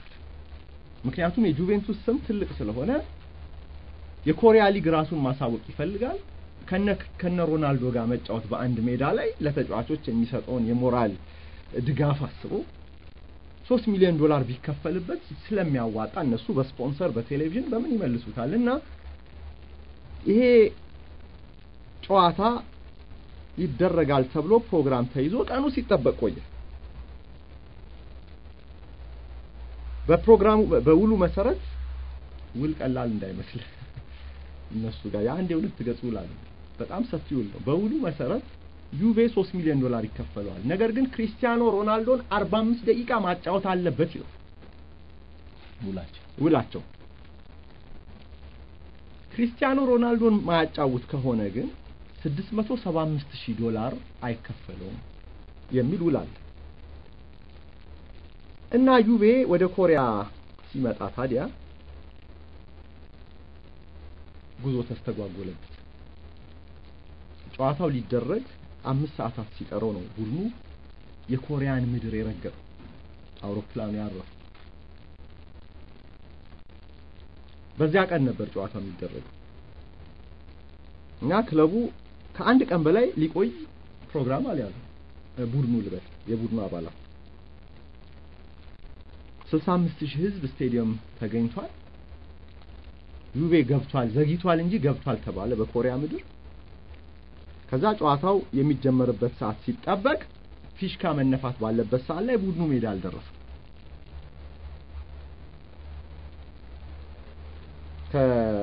እንግዲህ ከአስራ ሁለት ሰዓታት በላይ ዩቬ አይቆይም በደቡብ ኮሪያ ብያለሁ። ይሄ ውል ነው እና ዘግይቶ ጨዋታው ተጀመረ። ሲጀመር ደግሞ ክሪስቲያኖ ሮናልዶ ተጠባባቂ ወንበር ላይ ቁጭ ብሎታል። አዎ 45 ደቂቃ ስለሚል ከረፍት ምን አለ መጀመሪያ ይኸውልህ ከውዝግቡ በፊት የኮንትራቱ ዝርዝር ይፋ አልሆነም ነበር። ሮናልዶ ይጫወታል ተብሎ ነው በቴሌቪዥን በሬዲዮ በምን ማስታወቂያ አጥለቀለቀው። የደቡብ ኮሪያ ህዝብ ደግሞ ለሮናልዶ እንደ የትኛውም የዓለማችን ክፍል እግር ኳስ እንደሚወደው የዓለማችን ህዝብ ለክሪስቲያኖ ሮናልዶን ለማየት በጣም ጓግቷል። 65 ሺህ ህዝብ ስቴዲየም ጥቅጥቅ አድርጎ ገብቶ የሚጠብቀው እኮ ሮናልዶ አለ ብሎም ነው። እሱን ለማየት ነው። እሱን ለማየት ነው። ግን ደግሞ ጨዋታው ሲጀመር ሲአር ሰብን የለም ተሰልፎ አልገባም።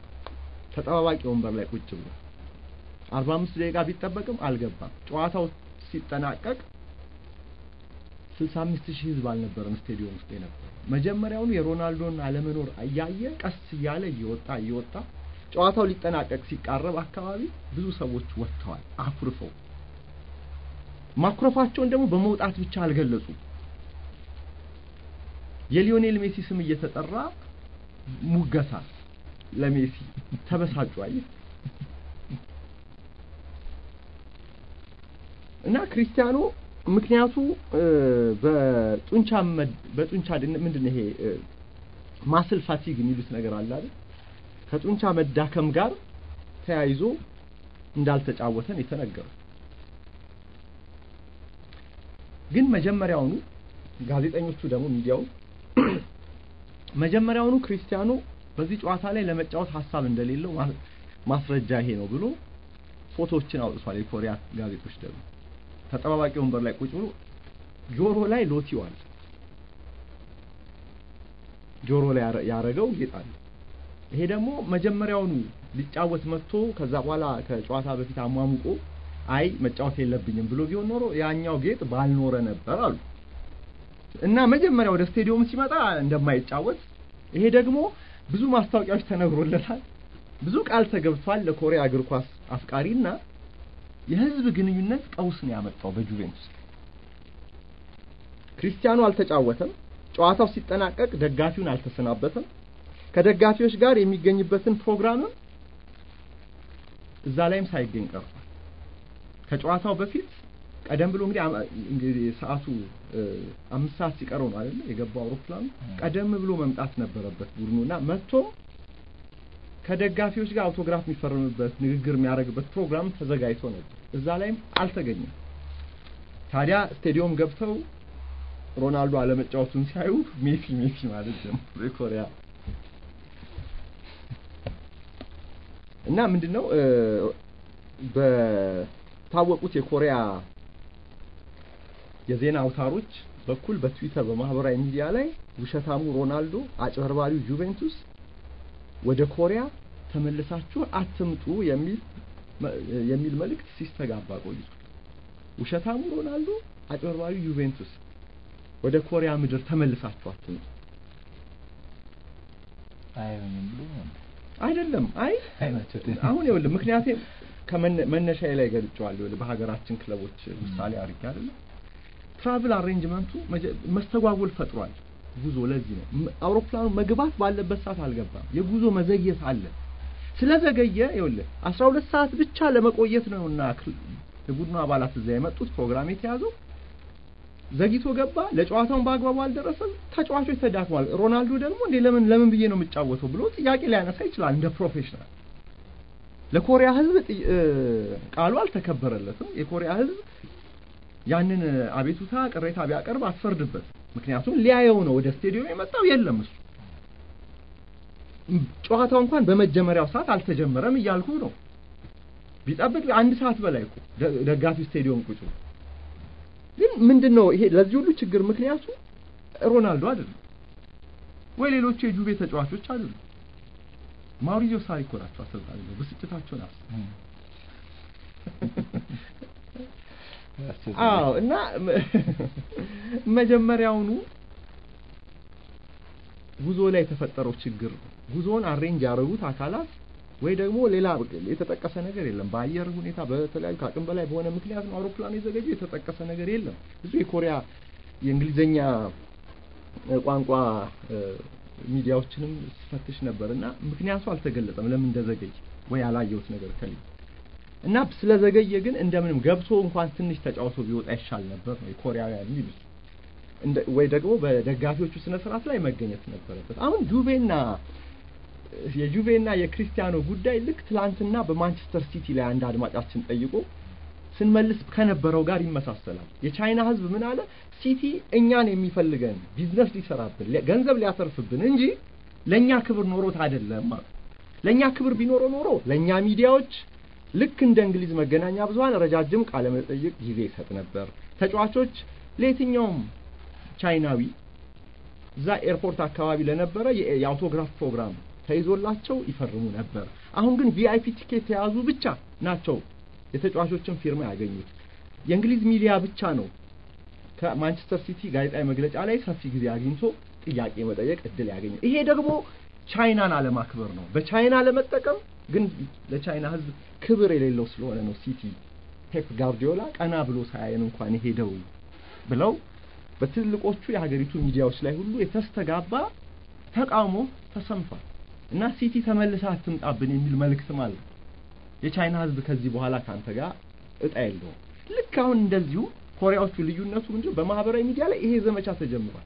ውሸታሙ ሮናልዶ፣ አጭበርባሪ ጁቬንቱስ ወደ ኮሪያ ምድር ተመልሳችሁ አትምጡ የሚል ዘመቻ ተጀምሯል። ይሄ ብቻ እንዳይመስልህ ሁለት ሺህ የሚሆኑ ደጋፊዎች ኮሪያውያን ማለት ነው የጨዋታውን promoter ከሰውታል፣ ክስ መስርተውበት ጨዋታውን የሚያዘጋጀው ድርጅት ማለት ነው። K League ደግሞ የኮሪያ ሊግ የተቃውሞ ደብዳቤ ለጁቬንቱስ ጽፏል፣ ለሴሪያውም ጽፏል። ይሄ ተገቢ አይደለም። ክሪስቲያኖ ሮናልዶ ወደ ደቡብ ኮሪያ ከመምጣቱ ቀደም ብሎ ደግሞ በና- ናንጂንግ ቻይና ከኢንተር ሚላን ጋር በተደረገው ጨዋታ ሶስት ለሶስት በተጠናቀቀው ጨዋታ ላይ እዛ ቻይና ተሰልፏል፣ ተጫውቷል፣ ጎል አስቆጥሯል አንድ እና በትዊተር ገጹ ላይ ሁሉ ቻይና ሆይ ሁል ጊዜ አንቺን ማየት ያስደስተኛል ብሎ ሁሉ ጽፏል። ይሄ ደግሞ ኮሪያውያንን ከዚህ ጋር አይተው አዎ እንዲከፉ አድርጓቸዋል። አርባ አምስት ደቂቃ መጫወት ነበረበት ግን በዚህ ምክንያት ሳይጫወት ቀረ ያለው promoter ኡ ነው። ተገዶ ኮንትራቱን ይፋ አደረገው እና በቻይና ክሪስቲያኖ ሮናልዶ አዲስ ናይኪ ጫማ ሁሉ እንዳስመረቀ የቻይና መልክ ያለው የቻይና ጽሑፍ የሚመስል ነገር ያለው ናይኪ ሜርኩሪያል ሱፐር ፍላይ የሚባል ሹዋይ የሚል ሹዋይ ማለት አሉ በቻይንኛ ቋንቋ ደመ ግቡ ቆንጆ ማለት ነው። ለወንድ ልጅ የምትጠቀምበት ቃል ነው እና በቻይና ውስጥ ሮናልዶ እንደዛ ተብሎ ነው የሚጠራው መልከ መልካም እና በዛ ናይኪ ይኸውልህ ይሄንን ጫማ አውጥቶ ሮናልዶ ሲያስተዋውቅ ነበር ያን ጫማ። በቻይና አየህ ገበያቸውን ነው እነሱ ያሳሉ ግን እግረ መንገድህን ደግሞ ህዝቡንም አብረህ አክብረህ ቃልን አክብረህ ብትመጣ ችግር የለውም። በደቡብ ኮሪያ ጁቬ ይሄን አላረገም ሶስት ሚሊዮን ዶላሯን አስቦ ነው የመጣው። እና 65 ሺህ ህዝብ ደግሞ ከ25 እስከ 300 ዩሮ ድረስ ከፍሎ ነው የገባው። አንዳንድ ወንበሮች 300 ዩሮ ድረስ ያስከፍላሉ። ዝቅተኛው 25 አዲስ አበባ ስቴዲየም ዝቅተኛው 10 ብር ከፍተኛው መቶ እንደሚባለው ዝቅተኛው 25 ዩሮ ከፍተኛው 300 ዩሮ አካባቢ ነው። ይሄም ተከፍሎ ነው ሰው ተበሳጭቶ የወጣው። ጁቬ ታዲያ ግዴታውን ባለመፈጸሙ በውላቸው መሰረት ወደ 675 ሺህ ዶላር ድረስ ሊያጣ ይችላል ቢያንስ በሮናልዶ ምክንያት ብቻ። ግን በአስቸኳይ ይሄ ነገር እልባት ካላገኘ ደግሞ K League ና ሌሎች አካላት ወደ ጉዳዩን ይዘን ወደ ፍርድ ቤት እንሄዳለን ያኔ ደግሞ ጁቬን በጣም በከፍተኛ በብዙ ገንዘብ ካሳ እንዲከፍል ያስገድዷል። ምክንያቱም የቢዝነስ ስምምነት ነው፣ የውል ስለሆነ እነሱንም አክስሯቸዋል። የህዝብ ግንኙነት ቀውስ አድርሶባቸዋል። ለምሳሌ ይሄ የተከሰሰው promoter ያ promoter ከዚህ በኋላ በኮሪያ ምድር ላይ ጨዋታ ላዘጋጅ ቢል ጁቬን፣ ባርሴሎናን፣ ሪያል ማድሪድ ላምጣ ቢል ማንም አያምነውም። ተአማኒነቱን ሁሉ ነው ያሳጣው ሁሉ ነገሩ እና ለምንድን ነው የተስተጓጎለው? ለምንድን ነው ሮናልዶ ያልተጫወተው? እነዚህ ነገሮች ሁሉ የሚያጨቃጭቁ ሆነው ግን ውሉ አልተፈጸመምና ወደ ፍርድ ቤት ጉዳዩን ይዘን እንሄዳለን ብሏል። ከሁሉም በላይ ግን ራሱ ጁቬንቱስ በደቡብ ኮሪያ ያለውን ተወዳጅነት አሳጥቷል። በጣም ሰፊ የሚዲያ ዘመቻ ነው የተጀመረው። በጣም ሰፊ ደቡብ ኮሪያ ደግሞ የነ ሳምሰንግ ምድር ናት። የነ ሃዩንዳይ ትልልቅ ኩባንያዎች አላት። በጣም ያደገች ሀገር ናት እና እግር ኳስ በጣም ይወደዳል። እንግሊዝ ፕሪሚየር ሊግ popular ነው ጣሊያን ሴሪያ፣ ስፓኒሽ ላሊጋም እንደዚሁ።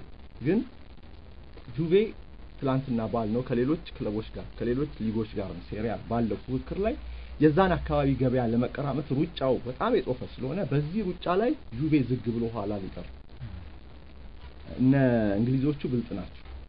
ሲቲ ነው አሁን እንግዲህ የተንሸራተተው በቻይና እንጂ ብልጣ ብልጥ ናቸው። እስከ ዛሬ ድረስ ብዙ ጊዜ ጥሩ ነገሮችን ሰርተው እዛ አካባቢ ያለውን ተወዳጅነታቸውን በማሳደግ የገበያውን እምቅ ኃይል እዛ ያለውን potential ሲጠቀሙ ኖረዋል። በኮሪያ ምድር ግን አሁን የጁቬ ማሊያ የሚለበስ አይመስልም። ስታየው ስታየው ዘገባዎቹን በማህበራዊ ሚዲያ ላይ ያለውን ነገር አይመስልም። ዘላለም መቼም እግር ኳስ ያው በአንድ ወቅት አንድ ነገር ይፈጠራል። ከዛ ደግሞ ሌላ ያው የማይዘልቁ ነገሮች አሉ። ያ እንዳለ ሆኖ ግን በኮሪያ ይሄ የማይረሳ ጥፋት ጥሎ ነው ያለፈው። ጁቬ እንግዲህ ጭራውን ቆልፎ ነው ማለት ነው ከኮሪያ ልሳነ ምድር ይወጣል።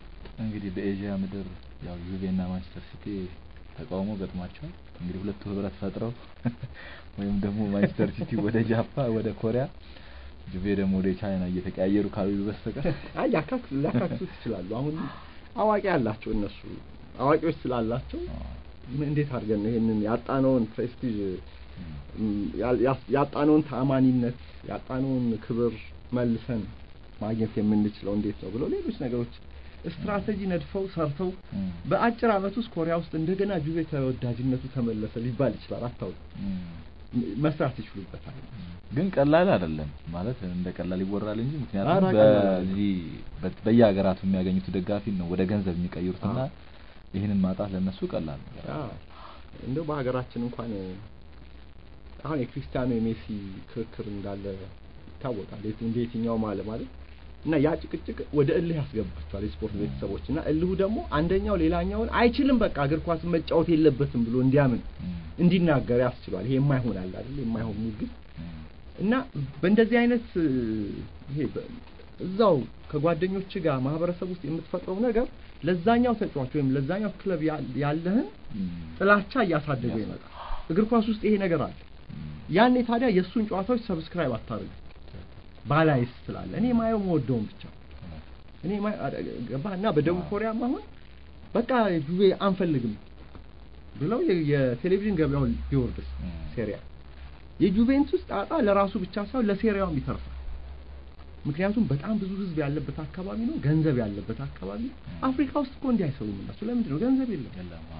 ብዙ ህዝብ ነው ያለው እዚህ፣ ግን እኛ መክፈል አንችልም። እነሱ የሚጠይቁን እስቲ አንድ የአርሰናል ማሊያ አርሰናል ክለቡ ራሱ ሱቅ ከፍቶ እዚህ አዲስ አበባ ቢሸጥ አቅማችን በማያገናዝብ መልኩ እዛው እንግሊዝ ባለው ዋጋ ማለት ነው እን- እንችላለን። አንዱ ማሊያ መግዛት አንችልም።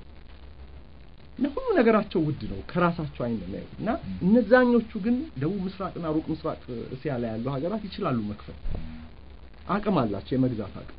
ስለዚህ አፍሪካን ትተው እነሱ እዛ ይዞራሉ። ቢመጡ ደቡብ አፍሪካ አልፎ አልፎ አንዳንድ ሀገሮች መጥተዋል። አንዳንድ ለምሳሌ ኤቨርተን ታንዛኒያ፣ ምክንያቱም ስፖርት ፔሳ የሚባለው እንትን የኬንያ ኩባንያ ነው። እዚህ ምስራቅ አፍሪካ አካባቢ ኢትዮጵያን ሳይጨምር የሚንቀሳቀስ bookmaker ነው እና ስፖርት ፔሳ አሁን በእንግሊዝ ሆነ በአውሮፓ አንዳንድ ክለቦች ማሊያ ላይ በግልጽ መታየት ጀምሯል። በደንብ ነው ዋነኛ የ sponsorship ኡን ጨዋታ የሚጫወት actor ሆኗል እና ይሄንን በዚህ ምክንያት ወደዚህ መጥቷል። ከዛ ውጪ ግን ምንም ምንም እዚህ ነው እዚህ ግባ የምትለው ነገር የለም። ምናልባት ሰሜን አፍሪካ፣ ፈረንሳይ ይሄ አንዳንድ ጨዋታዎችን ያደርጋሉ ወደ ጫፍ ጫፍ እዛ ወደ አውሮፓ ወደ ተጠጉት ቱኒዚያ፣ ሞሮኮ አካባቢ።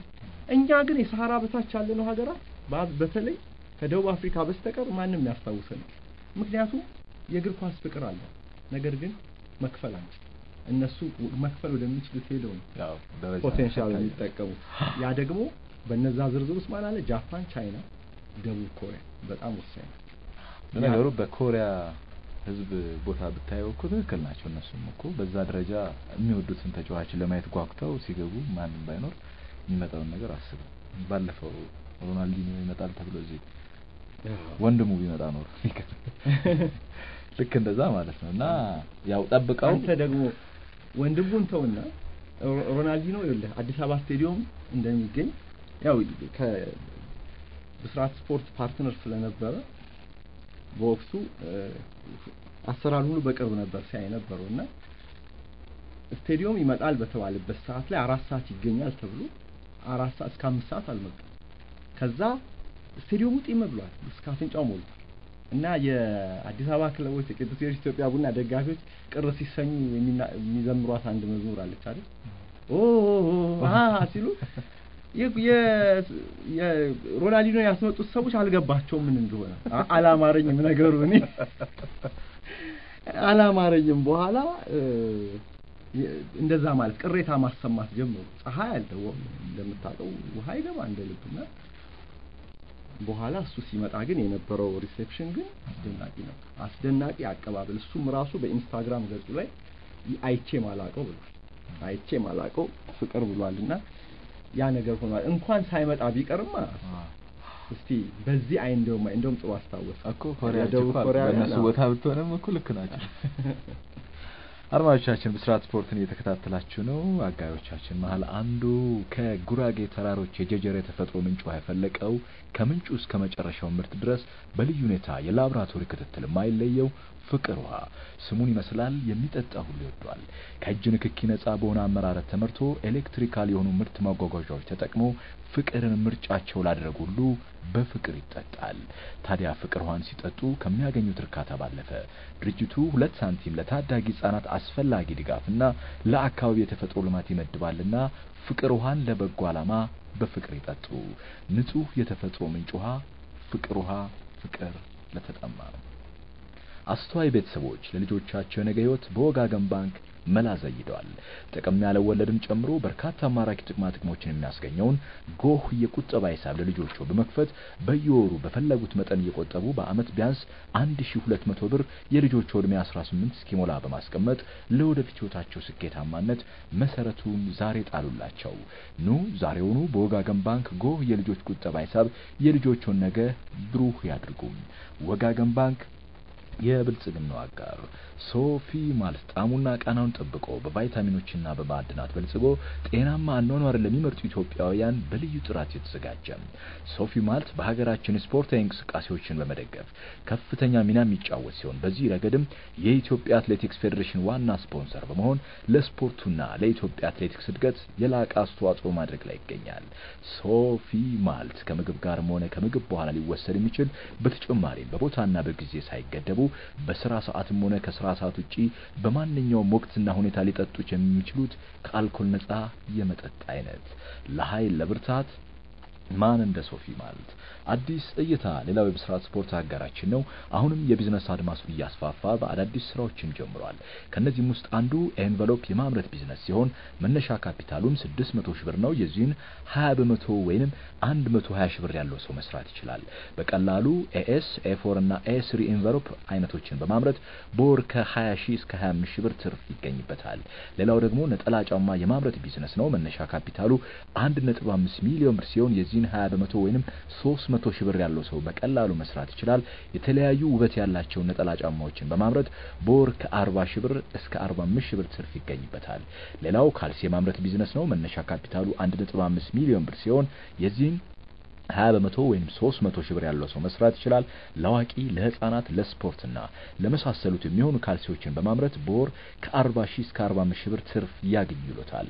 በተጨማሪም ብዙዎች የተቀየሩበት የሻማና ጠዋፍ መስራት ስራ አዳዲስ የሀገር ውስጥና የውጭ ማሽኖችን በመጠቀም በአዲስ መልክ እየተሰራ ነው። በ40 ሺህ ብር መነሻ ካፒታል በወር ከ15 ሺህ እስከ 20 ሺህ ብር ትርፍ ያስገኛል። የጥሬ ዕቃ አቅርቦት በዘላቂነት ያቀርባሉ። አዲስ እይታዎች አድራሻቸው ሜክሲኮ ኬኬር ህንጻ ሁለተኛ ፎቅ ቢሮ ቁጥር 227 ነው። ለተጨማሪ መረጃ 0978 21 21 21 ላይ ደውሉ። አዲስ እይታን ታገኛላችሁ። ሌላው አጋራችን አሁን የስፖርት ትጥቆችን ለመግዛት ወደ ውጭ ሀገር መሄድ አያስፈልጎትም። ምክንያቱ ደግሞ እዚሁ በመዲናችን ግዙፍ የትጥቅ አምራች ኩባንያ የስፖርት ትጥቆችን ማምረት ጀምሯል። ኢንፊኒቲ ቴክስታይል ይሰኛል። የተለየ ጥራት ያላቸው የክለብ ማሊያዎችንና ምርጥ ምርጥ የደጋፊ ማሊያዎችንም እንደ ፍላጎቱ ያመርታል። ከአምስት ሺህ በላይ ማሊያ ለሚገዙ ክለቦች ደግሞ አንድ መቶ ማሊያዎችን በነጻ ይሰጦታል። እነዚህ አንድ መቶ ማሊያዎች የተጫዋቾች ስም ያለበትና ቁጥራቸው የተጻፈበት ማሊያዎች ናቸው። በተጨማሪ የክለቦችን ማንነት የሚገልጹና ክለቡን ሊወክል የሚችሉ ማሊያዎች እርስዎ በፈለጉት ዲዛይን በጥራት ያትማል። ኢንፊቲ ኢንፊኒቲ ቴክስታይል ከፈለጉ ደግሞ የክለቦ አርማና ቀለም ያረፈበት ወይንም የተጫዋቾች ፎቶ ያለበት ማሊያ ሁሉ ያዘጋጅሎታል። ኢንፊኒቲ ቴክስታይል በተጨማሪ የሩጫ ማሊያና የተማሪ ቲሸርቶችን ያቀርብሎታል። እንዲሁም አካዳሚዎች ለልጆች የሚሆኑ ማሊያዎችንም ስለምንሰራ ኑ አናግሩም እያሉት ነው። አድራሻ ቦሌ መድኃኒዓለም ሸገር ህንጻ አንደኛ ፎቅ ነው። ይዘዙን፣ እንደ ምርጫው በምርጥ ዲዛይን እናዘጋጃለን እያሉት ነው። ለተጨማሪ መረጃ 0953 54 55 56 ላይ ደውሉ። 0953 54 55 56 ላይ ደውሉ። ምርቶቹ ይለያል፣ ጥራት ላይ ያተኩራል። ኢንፊኒቲ ቴክስታይል ቅዳሜና እሁድ ልጆቹን ይዞ ለመዝናናት ትክክለኛ ቦታ እምቢልታ ሆቴልና እምቢልታ ሲኒማ ነው። ከጠዋቱ ሁለት ሰዓት ተኩል እስከ ስድስት ሰዓት የልጆች ፕሮግራም ከኢትዮጲስ ጋር መደሰት ነው።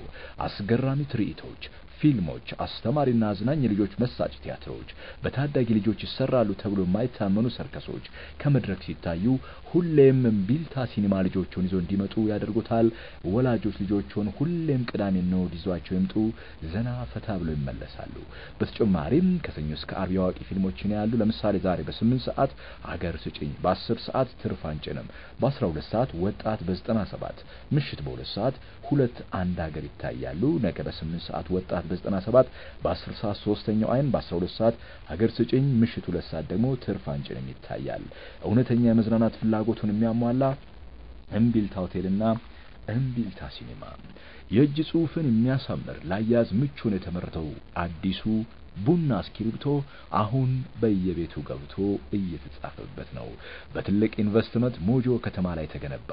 ለምስራቅ አፍሪካ የሚሆን ትልቅ አቅም ያለው ቡና እስክሪብቶ ሁሉም በየቤቱ በሚወደውና በሚጠጣው ለሀገራችን የኢኮኖሚ ዋልታ በሆነ በቡና ስም የተሰየመ ምርጥ ኢትዮጵያዊ እስክሪብቶ ቡና እስክሪብቶ በሶስት አይነት ደማቅ ቀለማት የቀረበ በቀይ በሰማያዊና በጥቁር የተዋበ በሀገር ውስጥ የሚመረተውን ቡና እስክሪብቶ መጠቀም ሀገርን መጥቀም ነውና ገዝተው ይጻፉበት።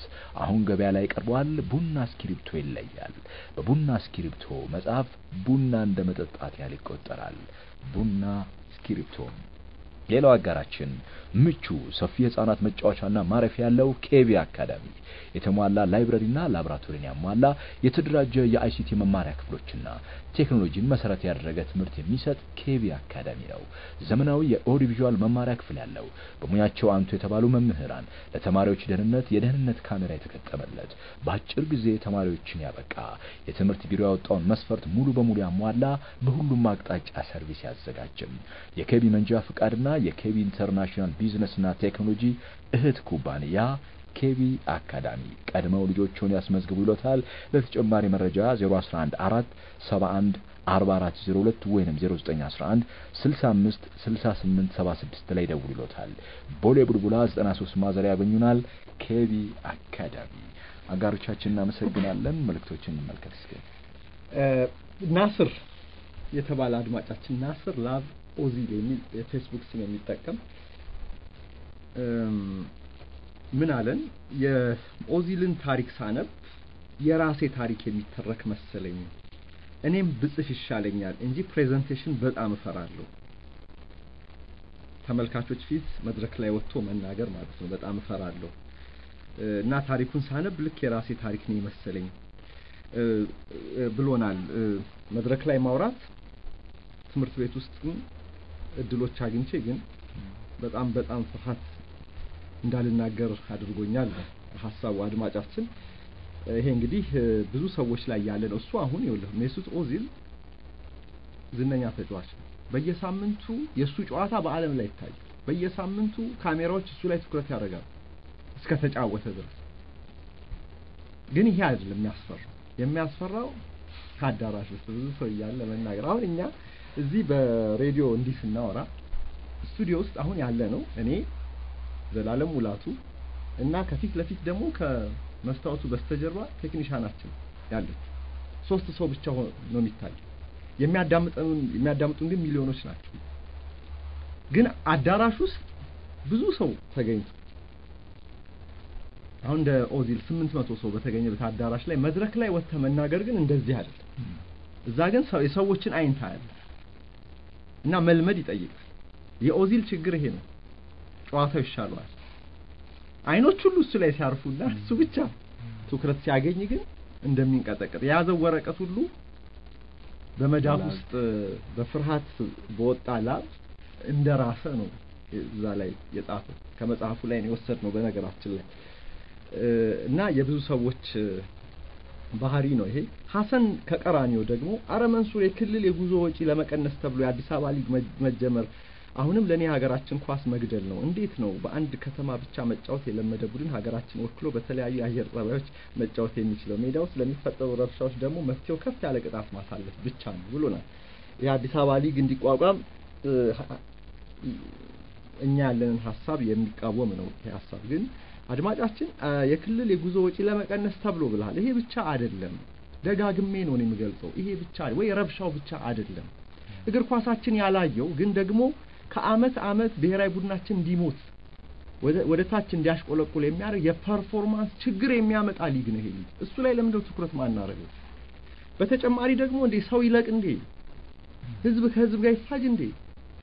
የሀገር ጸጥታ ስፖርታዊም አይደለም። ይሄ manage አዎ manage የሚደረግ ነገር አይደለም። በጣም ከባድ ነው አሁን ባለንበት ሁኔታ እና ትንሽ እፎይታ እንኳን ልናገኝ ይገባል።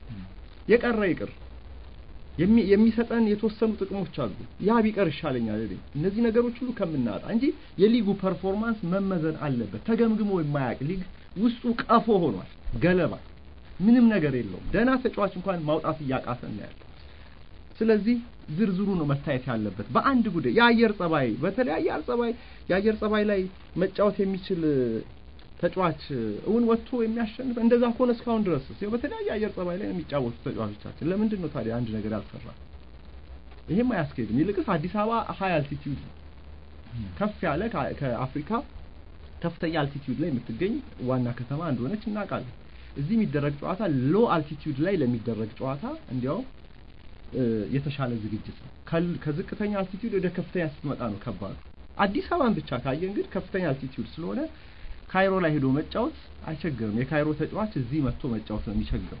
acclimatize ማድረግ ደግሞ አለው የራሱ ሳይንስ፣ እንደዛም ቢሆን ማለት አለው። ስለዚህ ይሄ ምክንያት ሊሆን አይችልም ብዬ ነው እኔ ማምነው። ደጀኔ በቀለ ደግሞ ረረረረ መንሱሬ ይላል ሲጀምር። እንዴ congra በለኝ እንጂ ለእኛ ለአርሰናል ደጋፊዎች እንኳን ደስ አላችሁ በለን ክሮንኬ ካዝናውን ሰበረው እኮ surprise አረገን። በዛውም በነካ እጁ ደግሞ አንድ የመሀል ተከላካይና ያንን የሴልቲክ ልጅ ቢያመጣልን ለዋንጫ ባይሆንም እንኳን ለ top four እንወዳደር እንችላለን።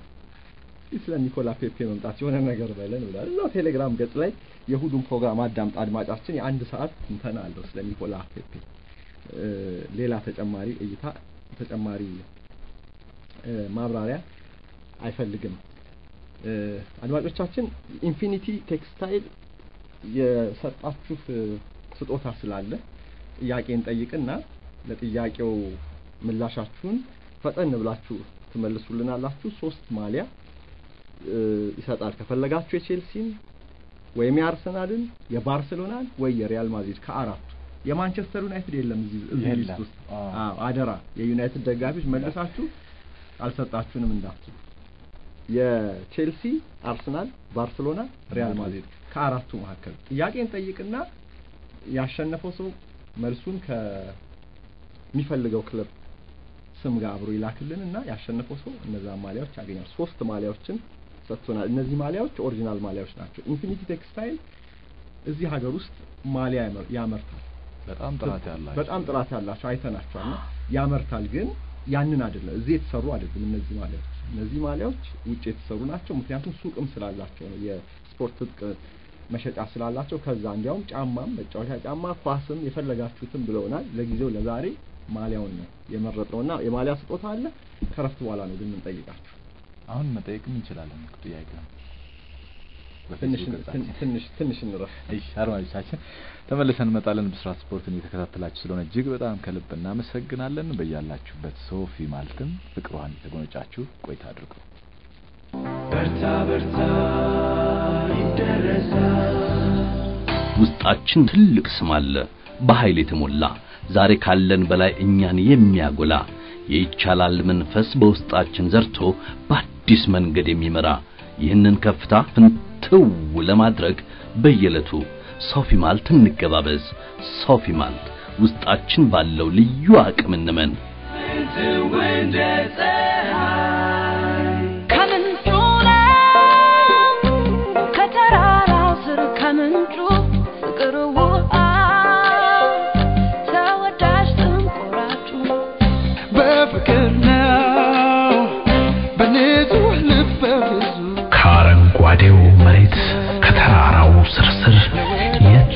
የተጠማ ሊያርስ ፈልቆ ወጥቷል ፍቅር። ንጹህ እንደ ፍቅር ብሩህ እንደ አገሬው። ይሁን ሕይወታችን ይድረስልን ወሬው። ፍቅር ውሃ ፍቅር ውሃ ፍቅር ለተጠማ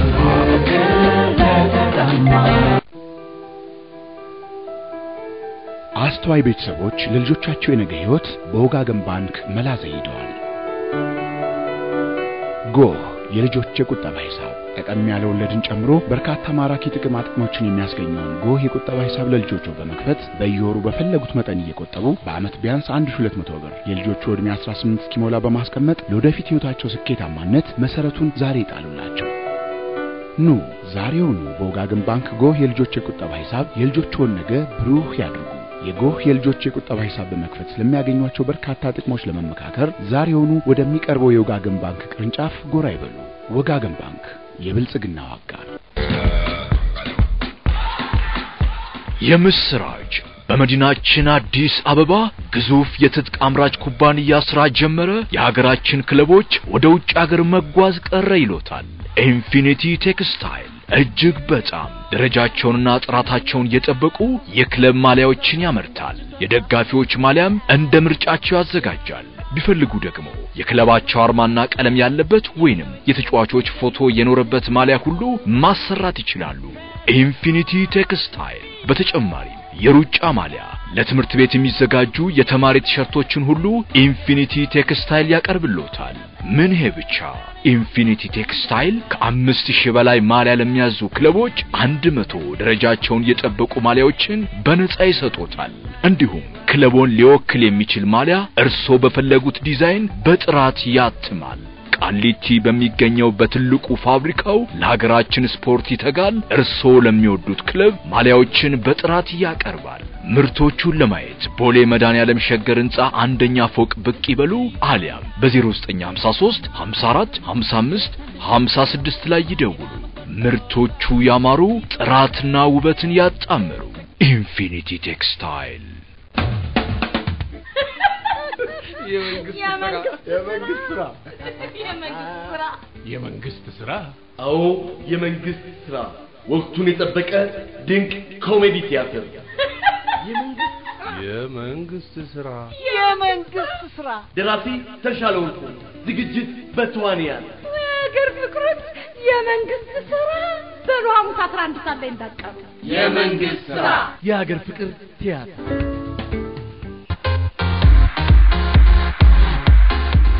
ተድባበ ንግድ ድርጅታችን ለረዥም ጊዜ ሲያስመጣቸው የነበሩ ለስራ የሚሆኑ በቂ አቅምና መለዋወጫ ያላቸው በመጠኑ ያገለገሉ የፎቶኮፒ ማሽኖችን በተመጣጣኝ ዋጋ ለሽያጭ ያቀረበ ሲሆንም ማሽኖቹ ከፎቶኮፒ በተጨማሪ print ና scan ማድረግ የሚችሉ ናቸው። ለምንሸጣቸው ፎቶኮፒ ማሽኖች የሶስት ወር ዋስትና ከመስጠታችን በተጨማሪ የምክርና የሙሉ ጥገና እንደዚሁም መለዋወጫ ጋር መስጠታችን እኛን ልዩና ተመራጭ ያደርገናል። አድራሻችን መስቀል አደባባይ ፍላሚንጎ አጠገብ ቶሚ ታወር አንደኛ ፎቅና ከደንበል ወደ መስቀል ፍላወር በሚወስደው መንገድ ድሪም ላይነር ሆቴል ፊት ለፊት ጥበቡ ህንፃ ላይ እንገኛለን። ለተጨማሪ መረጃ በስልክ ቁጥር 0911 239498 አሊያም በ0911 523495 ላይ ተድባበ ንግድ ብለው ይደውሉ። ተድባበ ንግድ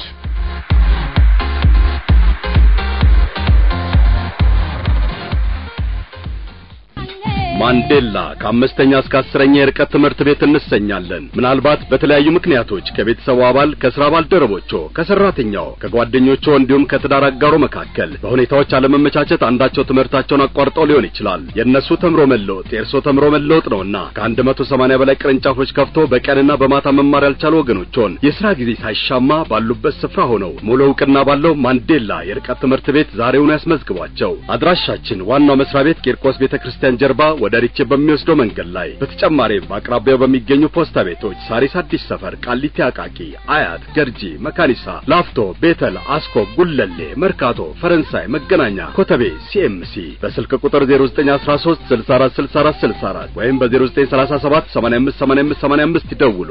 ማንዴላ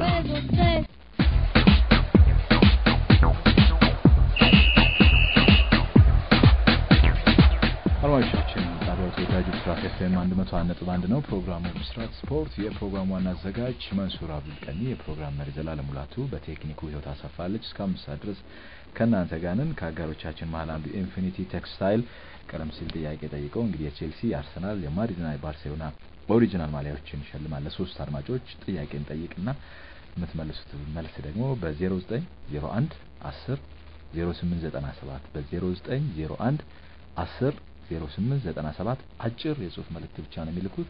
ቀድሞ የላኩ አድማጮች ደግሞ ለሶስት አድማጮች እነዚህ የተዘጋጁት original ማሊያዎች ይሸለማሉ ማለት ቀድሞ ነው። ለመለሱት አዎ። ስለዚህ ጥያቄው የሚሆነው ቁጥሩ አዲስ ስለሆነ አድማጮቻችን ቁጥሩን በደንብ ያዙት 0901 10 08 97 በዚህ- በቃል ለመያዝ አይመችም አይመችም።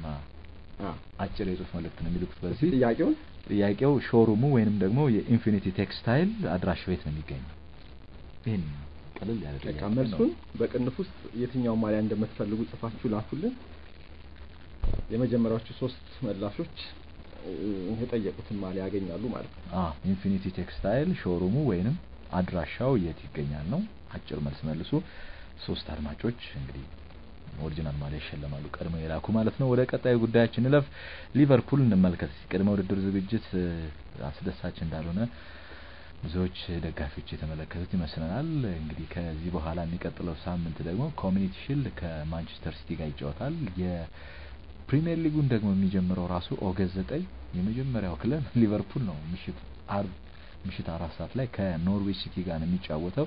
እንዲሁም ማንቸስተር ዩናይትድም ከበድ ባለ ጨዋታ ነው የሚጀምረው እሁድ በ August 11 ከቼልሲ ጋር ነው በኦልድ ትራፎርድ የሚጫወተው እና እስቲ የሊቨርፑልና የማንቸስተርን የቅድመ ውድድር ዝግጅት ነው ዘንድሮ መቼም ሊቨርፑል ደጋፊዎች በስጋት ውስጥ ቢሆኑ አይገርመኝም። ቅድመ ውድድር ዘመን ውጤቶቹ ጥሩ አይደሉም፣ ግን ይሄ ብቻ ግን የቀጣዩን ሲዝን የቡድኑን ብቃት ደካማ ነው አያስብልም። ይሄ ብቻ ምክንያቱም በሁለት ሺ ሰባት ላይ ተመሳሳይ ነገር ተፈጥሮ ነበር። የዝግጅት ጨዋታዎችን ሳያሸንፉ ነበር ራፋ ቤኒቴዝ ወደ ውድድር የመጡትና ግን በቻምፒየንስ ሊግ ፍጻሜ ላይ ሁሉ የደረሱበት አለት ነበር ያ በሌሎቹም አመታት ላይ እንደዚህ በቅድመ ውድድር ዘመን ዝግጅት ጨዋታዎች ላይ በውጤት መንገጫገጭ እየገጠማቸው ግን የፈሩትን ያህል ሳይሆን የቀረባቸው ጊዜያት አሉ። ግን ሁል ጊዜ ማሰብ ያለብን ነገር ያለፈው አመት ጆዜ ሞሪኖ እና ማንቸስተር ዩናይትድ የነበራቸው preseason የተረጋጋ አልነበረም፣ ጭቅጭቅ የሞላበት ነበር።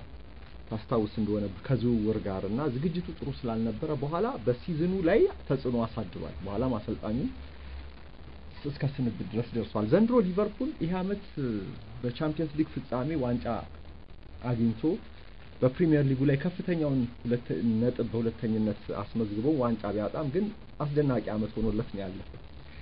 በነገራችን ላይ በፖለቲካው ዓለም ለሊቨርፑል የማይመቹ ሰዎች ናቸው አሁን ብሪትንን እንዲመሩ የተደረጉት። በዚህ በኩል የሊቨርፑል አመት የሊቨርፑል ዘመን እንዳይሆን እያሉ የሚሰጉ አሉ። እኚህ ቦሪስ ጆንሰን አሁን ብሪትንን የሚመሩት የጠቅላይ ሚኒስትሩ ማለት ነው የወግ አጥባቂው ፓርቲ መሪ በአንድ ወቅት ጋዜጠኛ ነበሩ።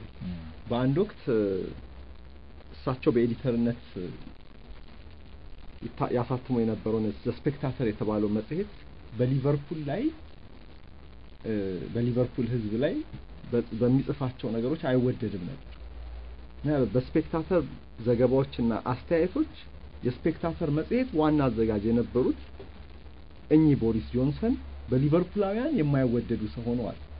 ልክ እንደ ዘ ሰን ማለት ነው። በሂልስቦሮ አደጋ ምክንያት ዘ ሰን የተባለው ጋዜጣ በወቅቱ በዘገበው ያልተጣራ ወሬ ፊት ገጹ ላይ ባተመው ማለት ነው። ልክ ሊቨርፑል ደጋፊዎችን ጥፋተኛ ያደረገበት እስካሁንም ድረስ በሜርሲሳይድ የሚወደድ ጋዜጣ አለ። ዘ ሰንን አትግዙ የሚለው የሜርሲሳይድ ህዝብ አቋም አሁንም እንዳለ ነው። ዘ ሰን ማለት ዕለታዊ ብዙ ኮፒ የሚሸጥ tabloid ጋዜጣ ነው እና ዘ ስፔክታተርም እንደዚሁ ነው። የዘ ሰንን ያህል ባይሆን እንኳን በዚሁ በሂልስቦሮ ጉዳይ ላይ ደጋፊዎችን ጥፋተኛ ሲያደርግ የነበረ እንደገና በቦሪስ ጆንሰን editor ነትም ብዙ ለሊቨርፑሎች የማይመች ዘገባዎችን ሲያቀርብ የነበረ ነው። በማርግሪት ታቸር ዘመንም 1980ዎች ውስጥ ሊቨርፑል በጣም ተበድሏል። በዛ ጊዜ ክለቡን ሳይሆን ሊቨርፑል ከተማው ማለት ነው። በጣም የዛ አካባቢ ሜርሲሳይድ ህዝብ በዛ መንግስት ደስተኛ አይደለም። ታቸር የወግ አጥባቂ ፓርቲ መሪ ነበሩ። ያን አሁንም ገዢው ፓርቲ በእንግሊዝ ውስጥ በብሪትን ወግ አጥባቂው የፓርቲ ነው እና ወግ አጥባቂ ፓርቲ ነው ቦሪስ ጆንሰን የመረጣቸው። ፓርቲው በሊቨርፑላውያን አይወደድም። እንደገና ጭራሽ መሪው ደግሞ የማይወደድ ቴሬዛ ሜይ ይሻሉ ነበር ለሊቨርፑሎች እና ሊቨርፑል ደግሞ ዘላለም ሶሻሊስት አስተሳሰብ ያለው ክለብ ነው ይባላል። ምክንያቱም የሊቨርፑል እምነትና እሴት አነሳሽና በአዲስ መልክ ፈጣሪ ናቸው የሚባሉት ቢል ሻንክሊ እኔ የማምንበት ህብረተሰባዊነት ወይም ሶሻሊዝም እያንዳንዱ ለእያንዳንዱ ጥቅም የሚሰራበት ሁሉም የሽልማቱን ድርሻ የሚያገኝበት ነው ይሉ ነበር። እሳቸው ናቸው አሁን ያለውን የሊቨርፑል ባህል ያመጡት አንዱ ፓትሪያርክ እሳቸው ናቸው ተብሎ ነው የሚታሰቡት። ቢል ሻንክሊ በአንድ ወቅት የሊቨርፑል አሰልጣኝ የነበሩት እና ዩርገን ክሎፕም አሁን የግራ ዘመን ፖለቲካ አራማጅ ባይሆኑም ሶሻሊስት አስተሳሰብ ያላቸው ሶሻሊስት ባህሪ ያላቸው አሰልጣኝ ተደርገው ነው የሚታዩት። እና የሻንክሌን ያንን ሶሻሊስት እይታም ይዘው የሚያስቀጥሉ የዘመኑ የሊቨርፑል አሰልጣኝ ናቸው ነው የሚባሉት። እና የዛ አካባቢ ፖለቲካዊ አስተሳሰብ ራሱ ከዚህ ከወግ አጥባቂ ፓርቲ አስተሳሰብ ጋር አብሮ የሚራመድ አይደለም። እና አሁን ቦሪስ ጆንሰን መምጣታቸው ሊቨርፑሎችን አስከፍቷል። እና አሁን እንዲያውም አንድ የብሬግዚት ወይም ብሪትን ከአውሮፓ እንድትወጣ ከሚሟገቱት ሰዎች አንዱ የሆኑት የዚሁ ፓርቲ አባል ባለፈው አንድ መዝናኛ ቦታ ላይ ፎቶ ተነስተው የቤተሰብ ፎቶ ተነስተው ለቀቁ። በማህበራዊ ሚዲያ ላይ እና ፎቶ ላይ ሁለት ህጻናት ልጆች አሉ የሊቨርፑል ማሪ አድርገዋል። እንዴ አሉ የሊቨርፑል ደጋፊ ከዚህ ፓርቲና ከነዚህ ሰዎች ጋር የሚመሳሰል ነገር የላቸውም። ያው እነዚህ ህጻናት ቢሆኑም ግን ቤተሰብ ያው ገዝቶ ነው የሚያለብስ እንጂ የስድስት የሰባት አመት ልጆች በቤተሰብ ተጽዕኖ ካልሆነ በስተቀር እንደው ከስንት አንድ ነው በራሳቸው አንድ ክለብ የሚደግፉት? የቤት የእናት የአባት ተጽዕኖ ይኖራልና አሀ ይሄ ሰውዬም የሊቨርፑል ደጋፊ ነው ማለት ነው ተባለ። ብቻ ይሄ ሁሉ የሆነው አሁን በዚህ በ preseason ወቅት ላይ ነው። አሁን በሞሐመድ ሳላህ ሮበርቶ ፈርሚኖ አሊሰን ቤከር ሳዲዮ ማኔ እነዚህ የሉም ሰሞኑ እና ውጤቱም አንድም ጥሩ ያልሆነው በእነዚህ ምክንያት ሊሆን ይችላል ጀርዳን ሻኪሪና ናቢ ኬታም ጉዳት ላይ ነበሩ። በእነዚህ ጨዋታዎች ላይ አንድ አቻ ወጡ ሶስት ተሸነፉና እሳቸው ግን ሲጠየቁ ዩርገን ክሎፕ ግን አይ ታያላችሁ ሊጉን ስንጀምር አንበሳ ሆነን ነው የምንመጣው ሲሉ ነበር። እና ትላንትና ሞሐመድ ሳላ ፈርሚኖም ቤከርም ተመልሰዋል። ናቢ ኬታና ሻኪሪም ሲሰሩ ታይቷል ከእነሱ ጋር ዱብ ዱብ ማለት ጀምረዋል። በጥሩ መንፈስ እንደጀመሩ ነው እየተነገረ የሚገኘው እና ዛሬ ምሽት እንዲያውም ከሊዮን ጋር ጨዋታ አላቸው። በጄኔቫ ምሽት ሁለት ሰዓት ላይ ከሊዮን ጋር ይጫወታሉ።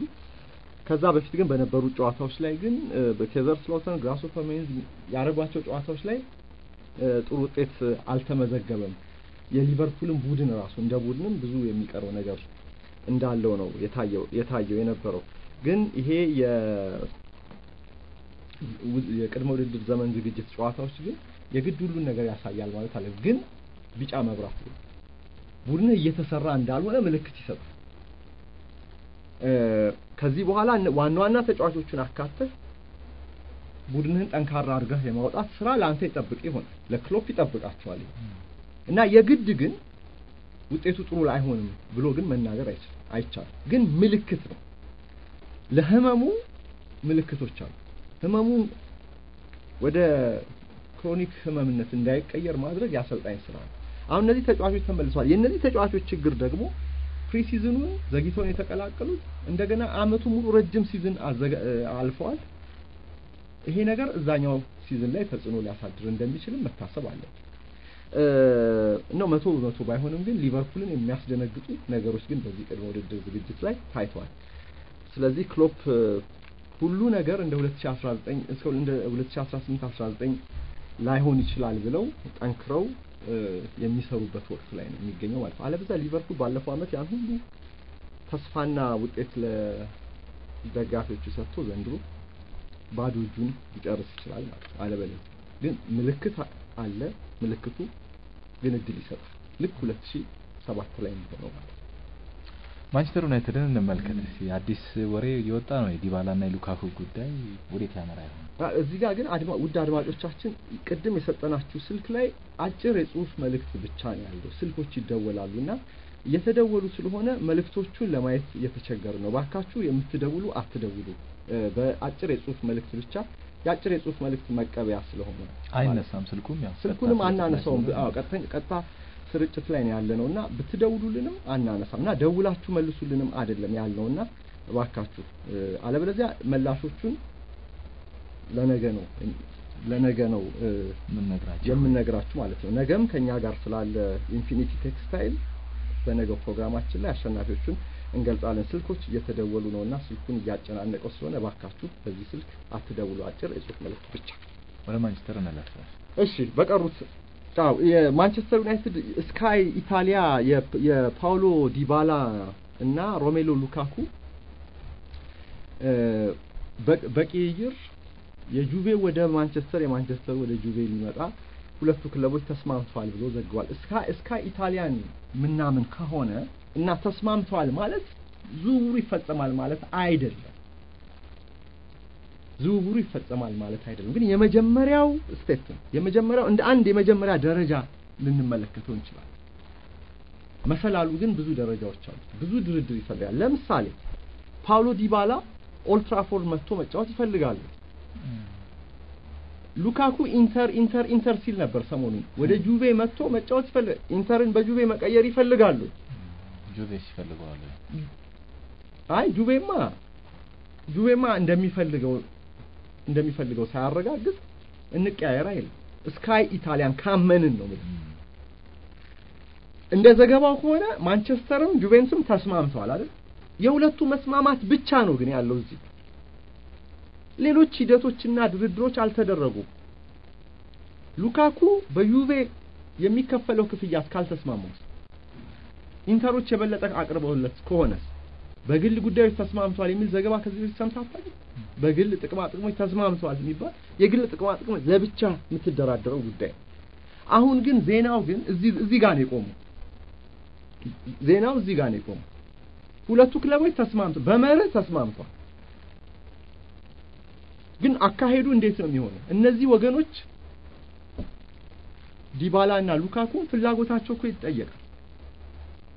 ጥቅማ ጥቅማቸውም ይታያል። ክለቦቻቸው እነዚህ ነገር ሁሉ ካሟሉ በኋላ ነው ዝውውሩ የሚፈጸም እና ተስማምተዋል። በመርህ ደረጃ ከተባለ ተስማምተዋል። እሺ እንቀያየር፣ እሺ እንቀያየር፣ ደስ ይለኛል፣ ደስ ይለኛል። የሚፈረም ነገር የለም እዚህ በድርድር በውይይት ያደረጉት ስምምነት። ይሄ ማለት ዲባላ ወደ ማንቸስተር ዩናይትድ ዛሬውኑ ይዘዋወራል ማለት አይደለም። ሂደቱ ተጀምሯል። ግን ሌሎች ነገሮች መሟላት አለባቸው። እነዛ ድርድሮች ሁሉ ከተሳኩ ወደ ቀጣዩ ዝውውር የሚካሄደው። ይበልጥ ሉካኩ ከኢንተር ሚላን ጋር የተገናኘ አሁን በድንገት ነው የጁቬ ነገር የመጣው። የተጫዋቾች swap ሲባልስ ምንድነው? ዝርዝር የለውም። ቅያ መቀያየር ሲባልስ ዋጋቸው እኩል ነው ተብሏል።